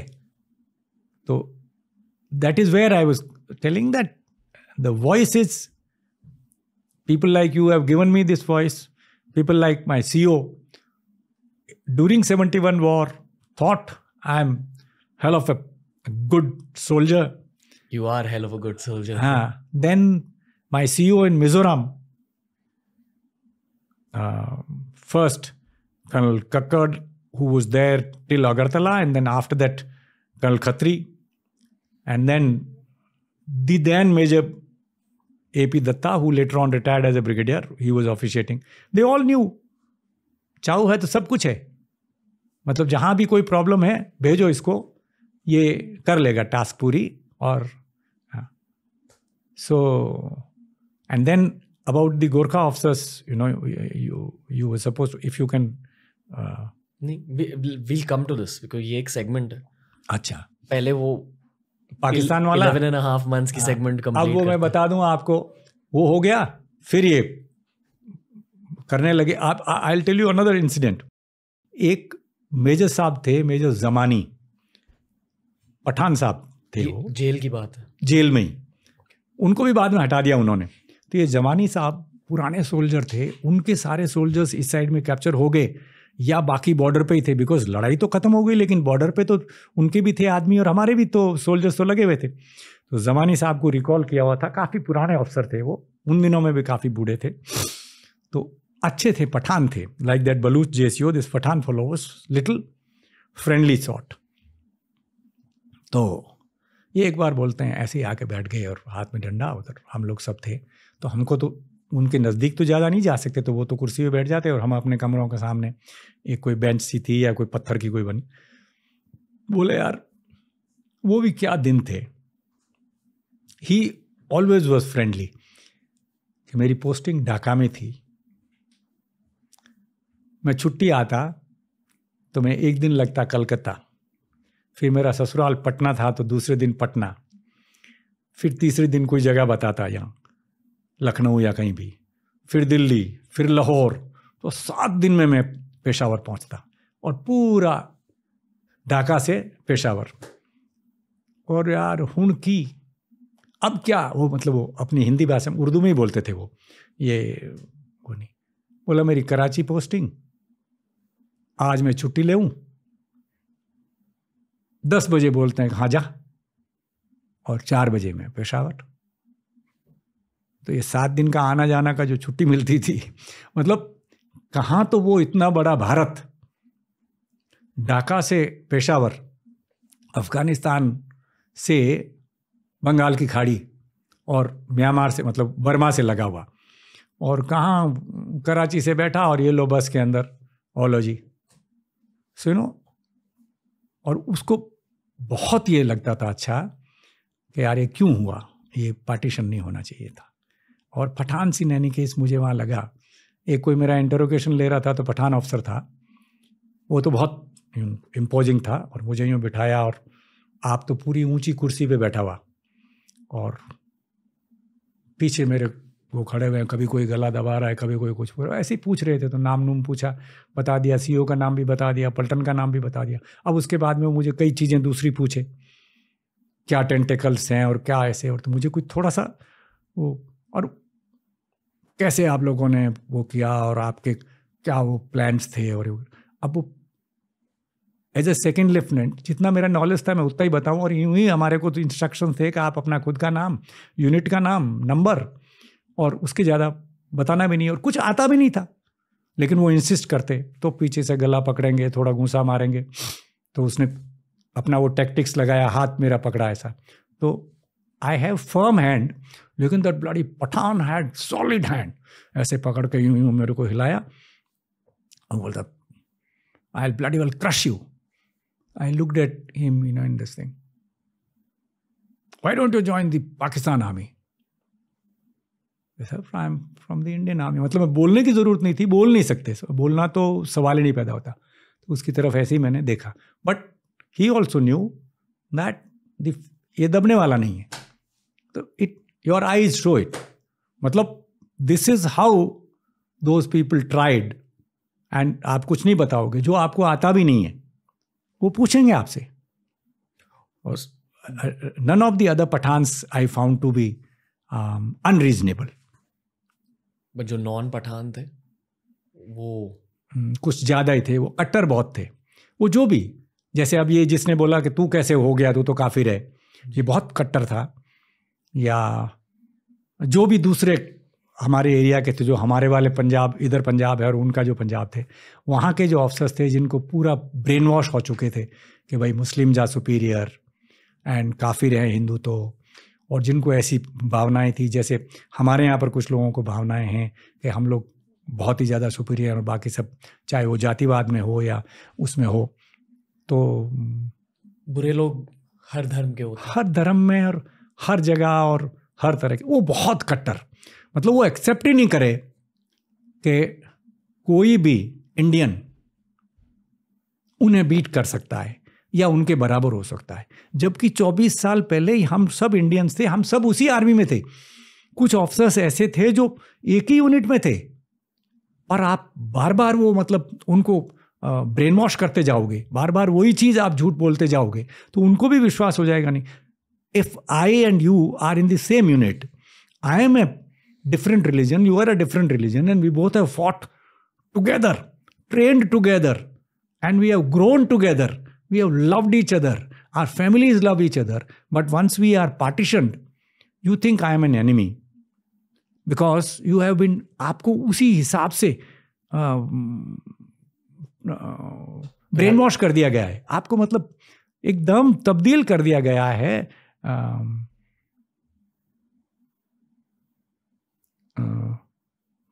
प्रचार से या प्रोपोगंडा से। जी। आई एम सॉरी कि मैं ये पूछ रहा हूँ आपसे, पर उस फ़ेज़ का सबसे मुश्किल पार्ट क्या था? मतलब कुछ ऐसी चीज़ है जिसके बारे में बात करना आपके लिए अब भी मुश्किल है? वो ये सबसे मुश्किल तो यही, यार you come to know that you know you are not in your own country but fate is like that that you won the war आपने सब कुछ किया, इतने दिन तक लड़े, सारी लड़ाइयाँ जो आपने, तीन अटैक किए, उनमें जीत गए। उससे पहले जो आपने एडवांस टू कांटेक्ट किया, जिसके अंदर आपने चार पाँच उन्हें, उनके एरिया जो खाली करवाया और आप हमेशा लीड करते रहे आगे।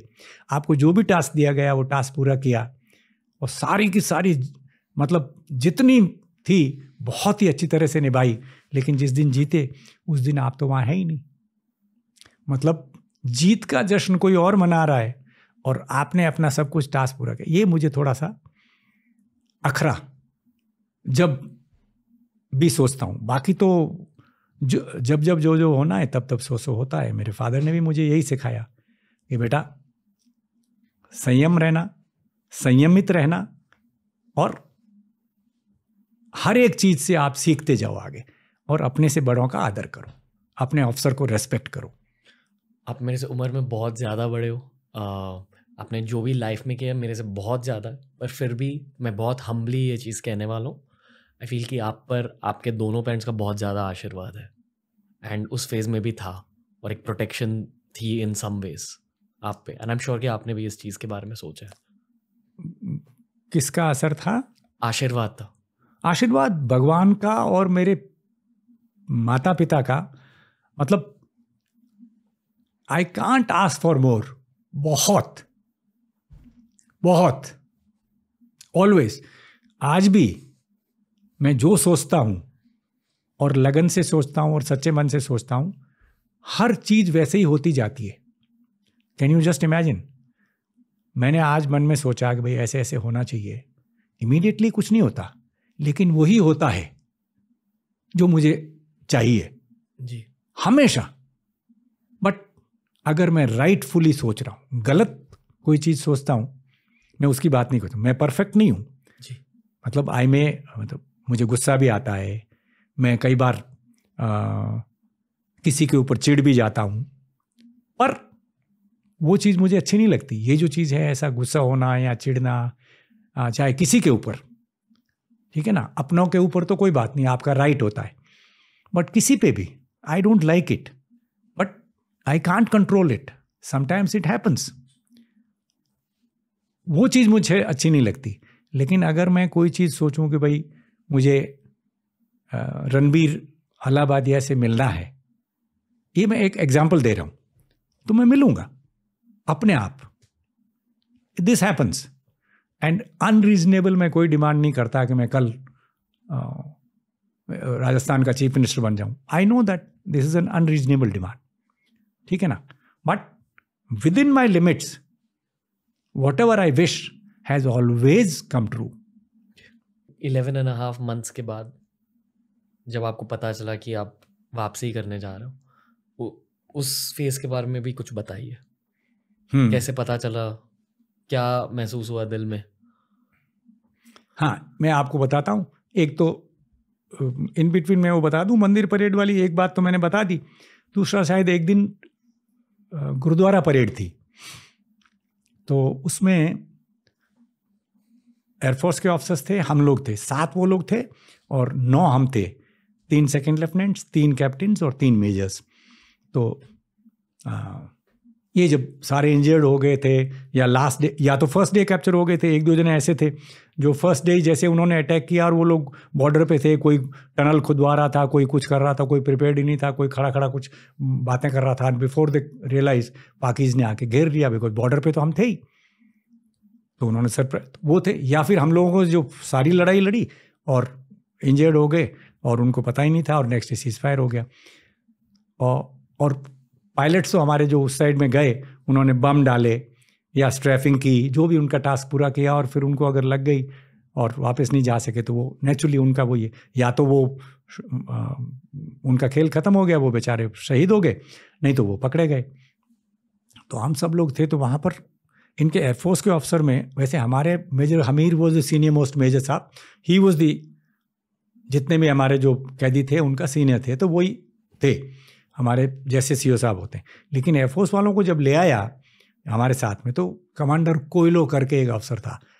उन दिनों के अंदर वो कमांडर था तो वो लेफ्टिनेंट कर्नल के बराबर होते हैं। तो आ, कमांडर तो नेवी में होते हैं इनको क्या बोलते हैं? आ, विंग कमांडर जी। विंग कमांडर तो ये सीनियर मोस्ट थे तो नेचुरली वो एक यूनिट तो हमारे जो कैदी जो सरदार जो बंदे थे बीएसएफ के और जो सिख रेजिमेंट के भी जो भी मतलब आ, थे हमारे साथ प्रिजनर्स ऑफ़ वॉर तो वो लोग आए तो उनको किया और उन्होंने वो तो बोला भाई वो गुरुद्वारे के अंदर वो सी साहब है तो वो आएँगे। तो जैसे ही वो आएँगे हाथ जोड़ेंगे और सी साहब पहले करेंगे और फिर उसके बाद में गुरबाणी करके वो जैसे सिस्टम होता है। तो दिस कोयलो फलो कम्स सीनियर है वहाँ आके वो गुरु ग्रंथ साहब रखी हुई है तो उनको नीचे दंडवत करना चाहिए और हाथ जोड़ना चाहिए वो तो नहीं बिकॉज़ मिलिट्री के अंदर if I am a Sikh officer and if I am posted in any unit तो I will do what this thing and if I am a जैसे मैं हूँ और मेरी है तो मैं गुरुद्वारा में जैसे वो करते हैं अगर मुस्लिम्स हैं तो वहाँ पर मैं मस्जिद में जैसे करते हैं, वैसे करूँगा। ठीक है? और अगर आप क्रिश्चियन हैं तो जैसे गोरखा रेजिमेंट में है तो आप वहाँ भी भगवान का वो पूजा करेंगे, जैसे वो गोरखे करते हैं, वैसे करेंगे। मतलब कोई रिलीजन नहीं होता। आपका वही रिलीजन है जो आपके ट्रूप्स का रिलीजन है। Because you are a soldier you are an officer तो ये इसने आके वहाँ पर गुरु ग्रंथ साहब को दंडवत नहीं किया प्रणाम नहीं किया जैसे करते हैं सल्यूट किया। तो पास में आ, फ़्लाइट लेफ्टिनेंट या स्क्वाडन लीडर कामत साहब बैठे हुए थे। तो भाई हमने तो इतना उन, उन लोगों ने इतना रेस्पेक्ट दिया कि मेजर हमीर सिंह की बजाय ये एयरफोर्स के अफसर आ गए हैं ये सीनियर है इनको पहले बुलाओ। तो कामत साहब बोलते हैं god saluting fucking bastard धीरे से। So we all was sitting there मतलब भगवान को तू सल्यूट कर रहा है। प्रणाम करना भाई। So that incident also I still remember I hope Kamath साहब is alive and kicking and this thing and this fellow didn't do it वो बैठ गया तो फिर हम लोगों ने सबने एक एक करके उनके बाद में जाके गुरु ग्रंथ साहब को प्रणाम किया। फिर जो भी वो करते हैं। और फिर उसके बाद में वो, राज करेगा खालसा, आकी रहे ना कोई लेकिन हम लोगों को ना तो सुना ही पड़ता था आकी। वैसे हमें पता था बिकॉज़ हम लोग तो गुरुद्वारे वगैरह ट्रेनिंग में भी जाते थे, वैसे भी हमारे बहुत सिख फ्रेंड्स थे। और एज ए यंगस्टर तो बाद में तो और ज़्यादा बन गए। तो जैसे ही वो बोलेंगे, राज करेगा खालसा तो हम लोग जान करके उनको चिढ़ाने के लिए ज़ोर से बोलते, बाकी रहे ना कोई तो बिकॉज़ पाकिज भी सब देखते थे। तो बड़ा मतलब यूँ, हमें वो बिकॉज़ नाउ भुट्टो साहब आ गए और स्विट्ज़रलैंड के वो लोग आ गए, कौन से रेड क्रॉस वाले। एंड इतना डर भी नहीं था कि अभी ये हम लोगों को मार सकते हैं बिकॉज़ अब चिट्ठियाँ भी चली गई, उस साइड से हमारा जो आर्मी वाइव्स एसोसिएशन से गुटका, चाहे वो गुरु ग्रंथ साहिब का हो, चाहे कुरान का हो, चाहे बाइबल का हो, चाहे गीता का हो ये सारे गुटके वगैरह भी सब कुछ जितने थे, उनके सब हमारी जो इधर वाइव्स थी ऑफिसर्स की और जो हमारे जवानों का army wives and air force wives association वालों ने भेजे थे तो ये भी सबको मिल गए तो सब लोग वो थे। अच्छा उससे पहले जब सिगरेट वगैरह की बात थी तो सिगरेट कहाँ है? वो लोग देते नहीं थे। और वो लोग पीते पीते कुछ भी कोई, या फिर अखबार होगा तो वैसे ही हम अखबार कभी कभार वो दे देते थे तो उसको क्या करेंगे? यूँ ही रोल करेंगे। कुछ नहीं, माचिस भी वो देते नहीं थे। बड़ी मुश्किल से कैसे भी करके मतलब करेंगे तो फिर उसको तो अगर वो लगा दी, थोड़ा सा भी धुआँ हो गया तो वो तो करने नहीं देंगे। तो यूँ ही बनाएँगे सिगरेट। वो पेपर वाली। जस्ट टू पास टाइम उसके बाद फिर वो हमारी जो वहाँ से उन्होंने भेजी तो दैट सिगरेट वी विल एक लगाएँगे। सबको पता है कि एक पनामा का पैकेट आया है। अब ये पता नहीं, हम जाएँगे पता नहीं तीन महीने में, दो महीने में छः महीने में। तो एक एक एक एक कश नहीं भी लगा रहा। हम तो पीते ही नहीं थे सिगरेट। ठीक है ना? तो सारे के सारे वो इसको, जैसे हम सारे हैं, सात के अफसर या आठ, नौ, दस, एक दो सी का अफसर थे, दो तीन सी का अफसर थे, वो नहीं। तो नौ और सात सोलह में से तेरह, चौदह सब उसका एक ऐसे लगा कि, ओए, अकेला ही पी लेगा क्या? So this use to happen this is how we pass that time so these are some incidents so this also I just wanted to अब ये जब सारा हो गया तो एक दिन वो भुट्टो साहब आए और उन्होंने बोला कि जाओ, हम लोग तो अपना यूँ यूँ है और आप लोग जाओ, क्योंकि यहाँ समझौता हो गया था। Because it must have transpired between both the governments के हिंदुस्तान के और पाकिस्तान के जो वेस्टर्न साइड के जो पी हैं, उनको एक्सचेंज करेंगे। हम लोग थे कोई 500 सवा पाँच सौ, उनमें बीएसएफ वाले भी थे जो पहले दिन ही मतलब बेचारे जो पोस्टों पे थे और वो। तो या फिर जो लड़े और ऐसे। और उनके थे कोई हज़ार, डेढ़ हज़ार या सोलह सौ, सत्रह सौ।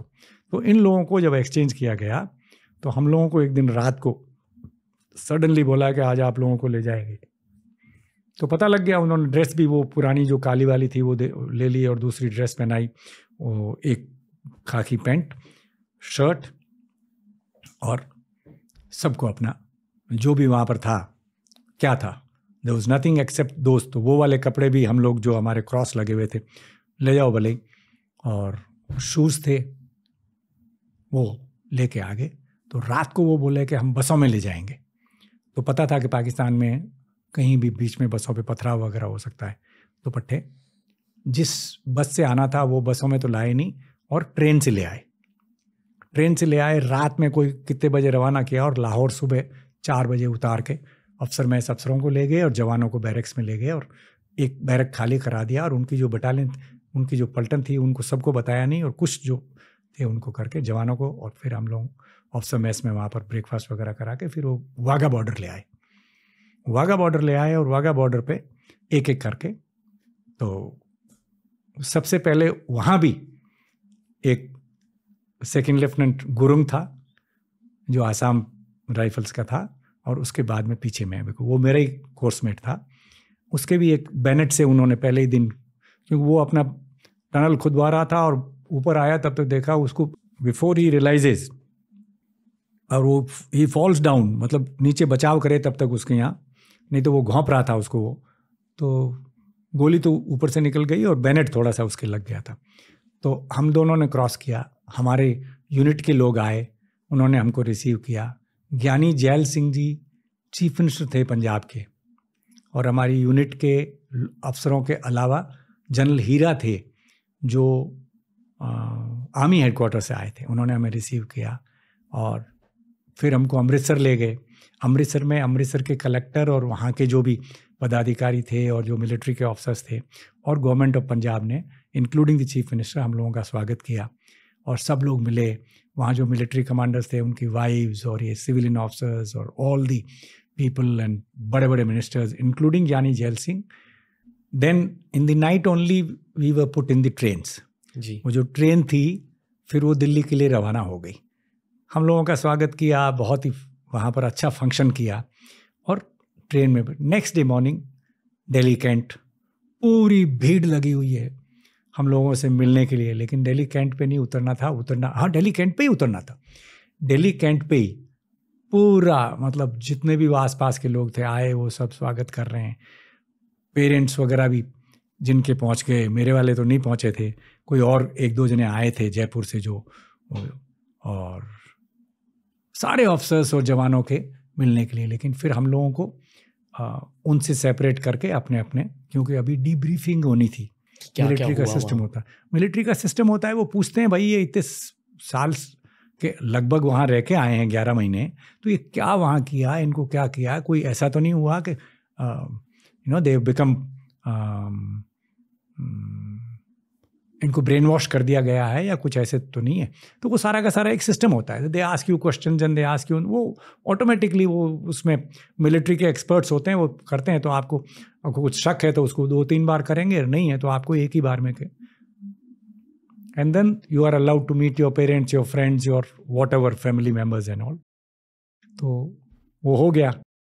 तो हमको, वहाँ रखा पहले तो आटी आटी मेस में या कहीं भी, और फिर एक दो दिन, एक आधे दिन में फिर बीकानेर हाउस वगैरह भी अलाउ कर दिया। बिकॉज़ राजस्थान वाले चाहते थे कि हम उनके साथ जाएँ तो बीकानेर हाउस राजस्थान का तो हम राजस्थान के ऑफिसर्स थे, हमको वहाँ ले गए।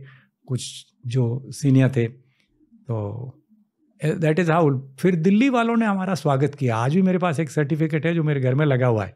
हम दिल्ली वासी, बहुत ज़्यादा मतलब प्रेम से, जो भी वहाँ पर दिल्ली की सरकार थी, दिल्ली के अफसरान थे गवर्नमेंट ऑफ़ इंडिया थी, और डिफेंस मिनिस्ट्री के लोग थे army headquarters naval headquarters air force सारे लोग थे। और हम लोग जब बैठे हुए थे तो ऐसे बिठा रखा था और जनता सामने थी और बाकी कुछ कुर्सियाँ वगैरह लगी हुई थी, वहाँ पर वो ऑफिसर्स और उनकी वाइफ्स और children and all the other बड़े बड़े अधिकारी आई एस वाई एस जो भी ऐसे, और बड़े बड़े राजनीतिक वगैरह, जो भी डिफेंस मिनिस्ट्री के थे। तो कैन यू जस्ट इमेजिन एक लड़का था, वो घूमता घूमता सबको देख रहा है। Young boy must be tenth और इलेवेंथ उन दिनों में शायद ट्वेल्थ तो होता ही नहीं था। वो आया और मेरे पास में कि सर मैं आपसे, आपको ही देना चाहूँ। दस रुपये होंगे या दो दस दस के नोट होंगे, जो भी मुझे। मैं क्या बेटा, इसकी ज़रूरत नहीं है। ऐसे ऐसे, नहीं सर।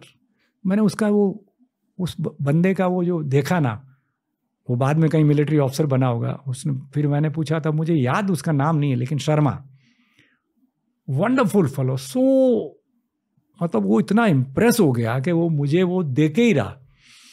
मैं देख रहा था, वो सिर्फ़ मुझे ही उसने नोटिस किया, मेरे पास आया और क्योंकि बातचीत कर रहे होंगे तो वो सब सुन रहा था और फिर उसको पता था कि देखिए, इनकी गोली लगी हुई है, इनके यहाँ भी लगी हुई तो मुझे वो याद है, उसकी शक्ल मुझे आज भी याद है, लड़के की। Little tall, very handsome, but very very serious बंदा। बड़ा यूँ, वो।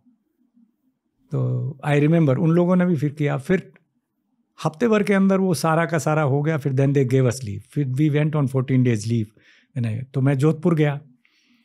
जोधपुर में मेरे पिताजी और बाकी लोग मिलने के लिए आए। मेरे गाँव के अंदर इन लोगों ने फ़ंक्शन रखा।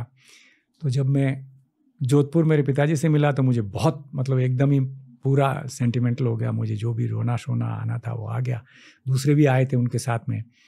दूसरे, मेरे पिताजी सरपंच थे गाँव के। दूसरे भी आसपास के पंचायत के सरपंच और बहुत लोग आए। तो काफिला लेके वो फिर गए यहाँ से।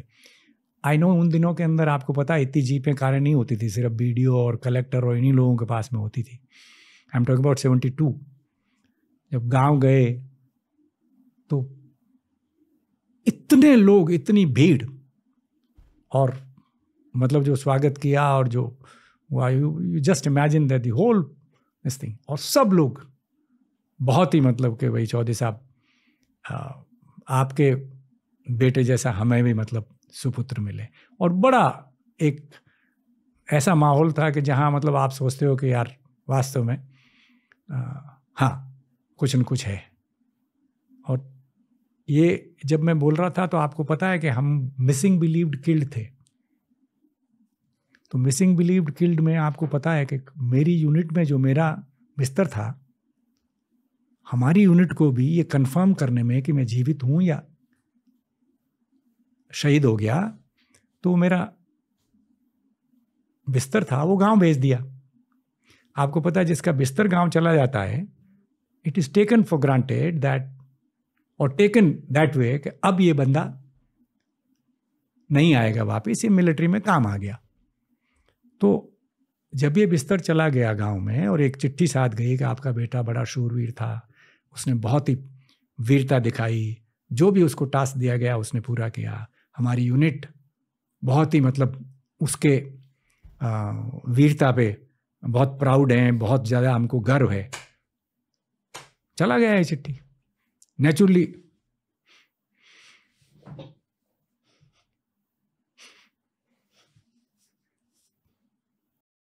My father won't believe it मेरी माँ भी नहीं बिलीव करेगी। लेकिन लोग तो आपको पता यही होता है करे वो बस। तो जैसे ही मेरी बुआ का गाँव था, तीन, साढ़े तीन कोस वहाँ से पड़ता था, उनको बोल दिया अच्छा कुछ लोग मिलने भी आ गए। तो मना किया मेरे पिताजी ने कि नहीं, ऐसा हो नहीं सकता माई फादर हैड फेथ कि नहीं, वो जहाँ भी है। तो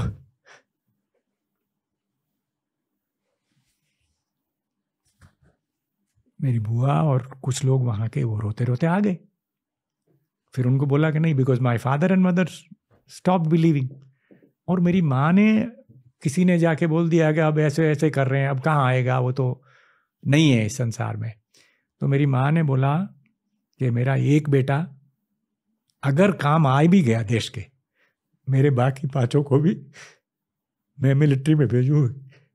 तो that was my mother and my father didn't believe so he went to one Pandit ji बहुत ही फ़ेमस थे वहाँ। एक गाँव है सोजत के पास में। वो मेरी जो टेवा लिखा हुआ था, उन्होंने बोला कि नहीं, इसके शायद गोली लगी है, मुँह पे लग सकती है, शरीर में लग सकती है, लेकिन ये मतलब इसके जो ये जन्म पत्री के हिसाब से ये आदमी मरा नहीं है। आपका बेटा नहीं मरा है। चौधरी साहब, आप विश्वास करो। तो आए मेरे पिताजी और फिर उन्होंने सोच विचार किया और गए दिल्ली। पहले जयपुर गए, जयपुर में मिर्दा साहब से मिले और फिर बोला कि नहीं, आप जाओ। रामनिवास जी मिर्दा उन दिनों में मिनिस्टर ऑफ़ स्टेट होम थे। तो डिफेंस मिनिस्टर कोई और थे तो उनके पास गए, उन्होंने बोला अच्छा पता करते हैं। बोला, साहब ऐसे ऐसे हमारे चौधरी साहब का बेटा। तो उन्होंने फ्लैग मीटिंग करवाई। उन्होंने डिफेंस मिनिस्टर को बोला फिर आर्मी हेडक्वार्टर्स ने उनके जो हमारी यूनिट के सामने जो यूनिट्स थी उनसे बात की फ्लैग मीटिंग कराई कि बोला हाँ हाँ second lieutenant G R Chaudhary जीवित है और रावलपिंडी हॉस्पिटल से अभी लायलपुर फोर्ट जेल में है। मतलब ये मैसेज फिर भी इस मैसेज को भी पहुँचने में काफ़ी टाइम लग गया। लेकिन फिर भी आपको पता है वो हाँ, अब मेरे पिताजी और माताजी को तो ये हो गया तो लोग भी मानने लगे कि हाँ यार ऐसी बात हो गई। ये उन लोगों के बीच में बात हुई। रामनिवास जी ने बाद में मिर्ज़ा साहब ने घर पे खबर भेज दी। पर चार छः महीने बाद में जैसे हमारे वाले यहाँ पर रिकॉर्ड करके भेजते थे तो हम लोगों का भी आए वो उनके पाकिस्तान टीवी वाले और रेडियो वाले कि मेरा नाम गंगाराम चौधरी है, मैं श्रीमान चौधरी साहब मोटाराम जी का बेटा हूँ, मैं राजोला कला का रहने वाला हूँ, मैं second lieutenant third nine G R का सेफ़ हूँ, जीवित हूँ और अच्छा हूँ। अब ये मैसेज रेडियो में पाकिस्तान टीवी ने, सब लोग पाकिस्तान टीवी लगा के रखते थे। अच्छा मेरे पिताजी के पास रेडियो पंचायत का भी था और खुद का भी था, लेकिन उन्होंने नहीं सुना।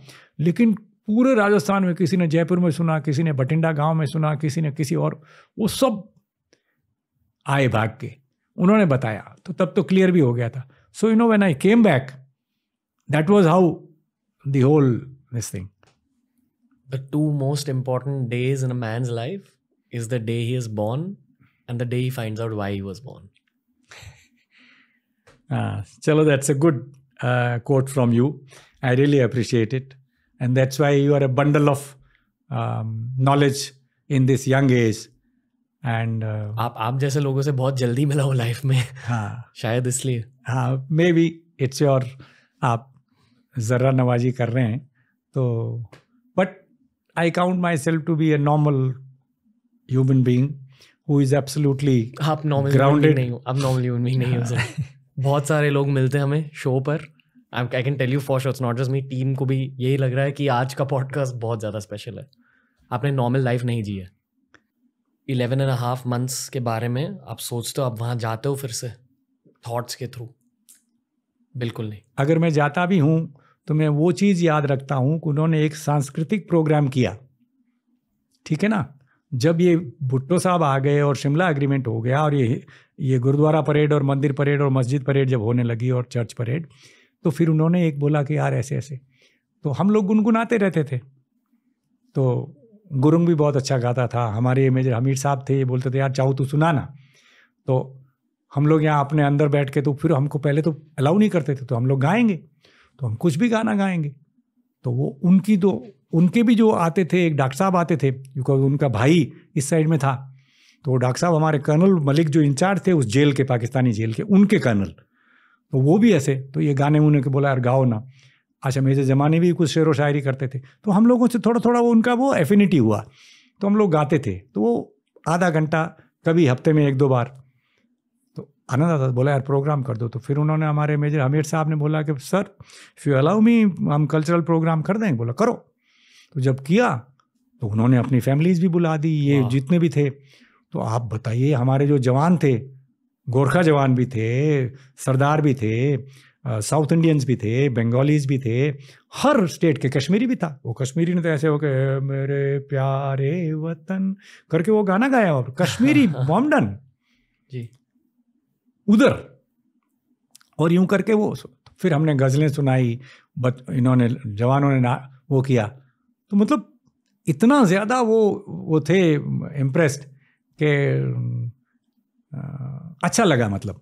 तो वो बोलते थे मुझे तो कई बार बोला उन्होंने भी। बोला मैं तेरे को यहीं रख दूँगा वो जनरल मलिक।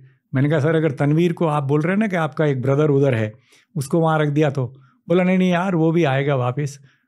चाहो बट तेरे तो यूँ so even that camaraderie was that so these are the things which I remember जो अच्छी चीज़ें थी। जी। जैसे मैंने आपको बताई वो उस जेसीओ ने जो पूछा या मेरे जमाने ने जो बोला या ये जो हमने जो म्यूज़िक वगैरह किया या जो बात उसने मुनीर खान ने और उन्होंने वो बोली I remember good things sir आपको पता है कि शायद ये वीडियो उन पाकिस्तानी सोल्जर्स तक पहुँच सकेगा शायद। देर इज़ अ पॉसिबिलिटी आपने कभी खुद उनसे बात करी है इस फ़ेज़ के बाद? मेरे इन्होंने ये देखे होंगे जो टेड टॉक वगैरह है। जी। तो ये ज़रूर उन्होंने देखे हैं। तो I have seen some reactions from that side some positive some otherwise और once in a while you know I may be you know on social media ji. May be somebody has written something about my this thing I am two hundred percent sure ये पहुँचने वाला है उन तक। हर एक चीज़ पहुँचती even मेरा TET talk देखा है। जब जब मैंने वो डॉक्टर वाली बात की थी तो शायद किसी ने कुछ कमेंट किया था। Although I didn't see it but वो कुछ कमेंट भी लिखते हैं ना उसके नीचे। हाँ जी सर तो किसी ने मुझे बताया कि ऐसे ऐसे लिखा है।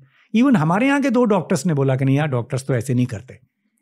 मैं कहा भाई जो मैंने सच बताया मुझे खुद को पता है कि डॉक्टर्स ऐसे नहीं करते। जी जी। लेकिन I have seen and experienced that's I am telling you not that उसने मेरा ये नहीं लगाया। लेकिन उसने आफ्टर ऑल ह्यूमन बींग्स है ना even that doctor was shaken up by the loss of part of Pakistan and the humility which they had to go through because he must be just twenty four twenty five thirty years तो वो चौबीस साल तो उसने वहाँ का ही देखा। तो उसको ज़्यादा वही इंप्रेशन था कि बस गाजी हैं हम तो कभी हार ही नहीं सकते। और जब वो हार गए तो वो विचलित हो गया और उसने वो रिएक्शन किया। But I have nothing against him या एक आखिरी सवाल है आज से जो पाकिस्तानी ये वीडियो देख रहे हैं उनके लिए क्या मैसेज है आपकी? We are one we are all human beings हम लोग इंडियंस हैं हम लोग वसुदेव कुटुंबकम पूरा संसार एक कुटुंब है। और आप लोग तो हमारे भाई ही हो ना भाई? हम लोग लड़ते हैं तो क्या? है जी। भाई भाई भी लड़ते हैं ना? आप लोग हमसे दूर नहीं हो। और आपसे यही रिक्वेस्ट है कि आप ऐसी गवर्नमेंट लाइए जो हिंदुस्तान में टेररिज्म नहीं करे, हमारे टेररिस्ट को आगे प्रमोट नहीं करे और हम एक दूसरे से मिले हैं। जैसे पहले आते थे आपके गायक यहाँ पर गज़लें गाने के लिए और हमारे खुद के जो आर्टिस्ट वहाँ जाते थे और परफॉर्म करते थे। बहुत ही कम, आप लोग तो बहुत कम बुलाते थे। हम लोग हमेशा बुलाते थे गुलाम अली साहब को और सबको। ऐसे बुलाइए और एक वो जो बहुत ज़्यादा ज़ोर जो यूँ ऐसे गाते थे ना वो नुसरत फतेह अली हाँ फतेह अली खान साहब आते थे और क्या ठीक है ना? ये होना चाहिए। आपके आर्टिस्ट आपके एक दो हीरो हीरोइंस भी आए हैं यहाँ पर एक्टिंग की है। शूटिंग की है राज कपूर साहब ने। किसी फ़िल्म की भी। पता नहीं रणबीर कपूर ने की है या आ, नहीं उसने रणधीर कपूर ने की है या वो राज कपूर साहब ने लेकिन ये कोई फ़िल्म बनाई थी। जी। ये होना चाहिए। और ये लड़ना लुड़ना कभी भी पार नहीं पाओगे। जी। ना तो हिंदुस्तान जीतेगा ना पाकिस्तान जीतेगा इंसान हारेगा। अगर इंसान को जिताना है लड़ाई बंद करो प्रेम बढ़ाओ गले मिल जाओ और वैसे भी आप लोग बहुत दिलदार हो। पाकिस्तानी स्पेशली लाहौर के लोग और जिन्हें लाहौर नहीं वेख्या वो जन्मिया ही नहीं। ये कोई ऐसे ही नहीं है। वंडरफुल पीपल बट एनिमिटी रखते हैं उनके जो गवर्नमेंट्स हैं। इससे कुछ नहीं हासिल होगा। अगर पिछले पिचहत्तर साल में कुछ नहीं हुआ, अगले पच्चीस साल में भी नहीं होगा। यही है कि पच्चीस साल बाद में हम लोग रहेंगे नहीं। लेकिन मेरा ये मैसेज है, मेरे पाकिस्तानी भाइयों और बहनों से और बच्चों से कि एकता करो, एक दूसरे का रेस्पेक्ट करो। हमारे एक दूसरे के देश में मैचेज हों, हम लोग खुश हों आप हमारी हौसला अफजाई करो हम आपके अच्छे प्लेयर्स की हौसला अफजाई वो हो ना तब मज़ा आए। हंड्रेड परसेंट सर हाँ। कैप्टन चाओ दिल से thank you for on behalf of Indian youth I saluted you at the start I salute you again sir thank you for everything you done for the country ये मेरी life का बहुत बड़ा honour है कि आप जैसे लेजेंड से बात करने का मौका मिला। एंड बहुत कम पॉडकास्ट ऐसे होते हैं जो मुझे स्पीचलेस छोड़ देते ये उनमें से एक पॉडकास्ट है।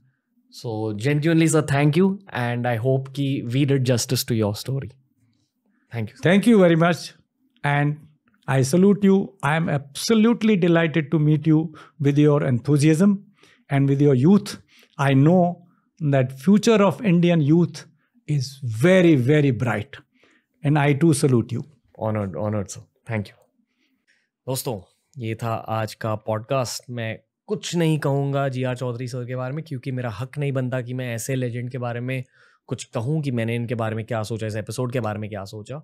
मैं ये सारे एपिसोड्स इंडियन मिलिट्री के लिए बनाता हूँ, क्योंकि आई फील कि हमारे एज के लोगों को मिलिट्री को और भी ज़्यादा सेलिब्रेट करना चाहिए। तो जितना हो सके ये वाले एपिसोड को शेयर कीजिए, हमारे सारे मिलिट्री एपिसोड्स देखें। और अगर आपके भी दिल में कुछ बदलता है ऐसे कॉन्वर्सेशन के बाद तो डेफिनेटली लोगों को बताइए हमारे मिलिट्री के बारे में। ऐसी कहानियों को शेयर कीजिए, भारतीय फौज के बारे में लोगों को बताइए। साथ में हम भारत को आगे लेके जाएँगे दोस्तों और भारतीय फौज को और भी ज़्यादा सेलिब्रेट करेंगे एक वर्ल्ड स्टेज पर। हैप्पी इंडिपेंडेंस डे एंड जय हिंद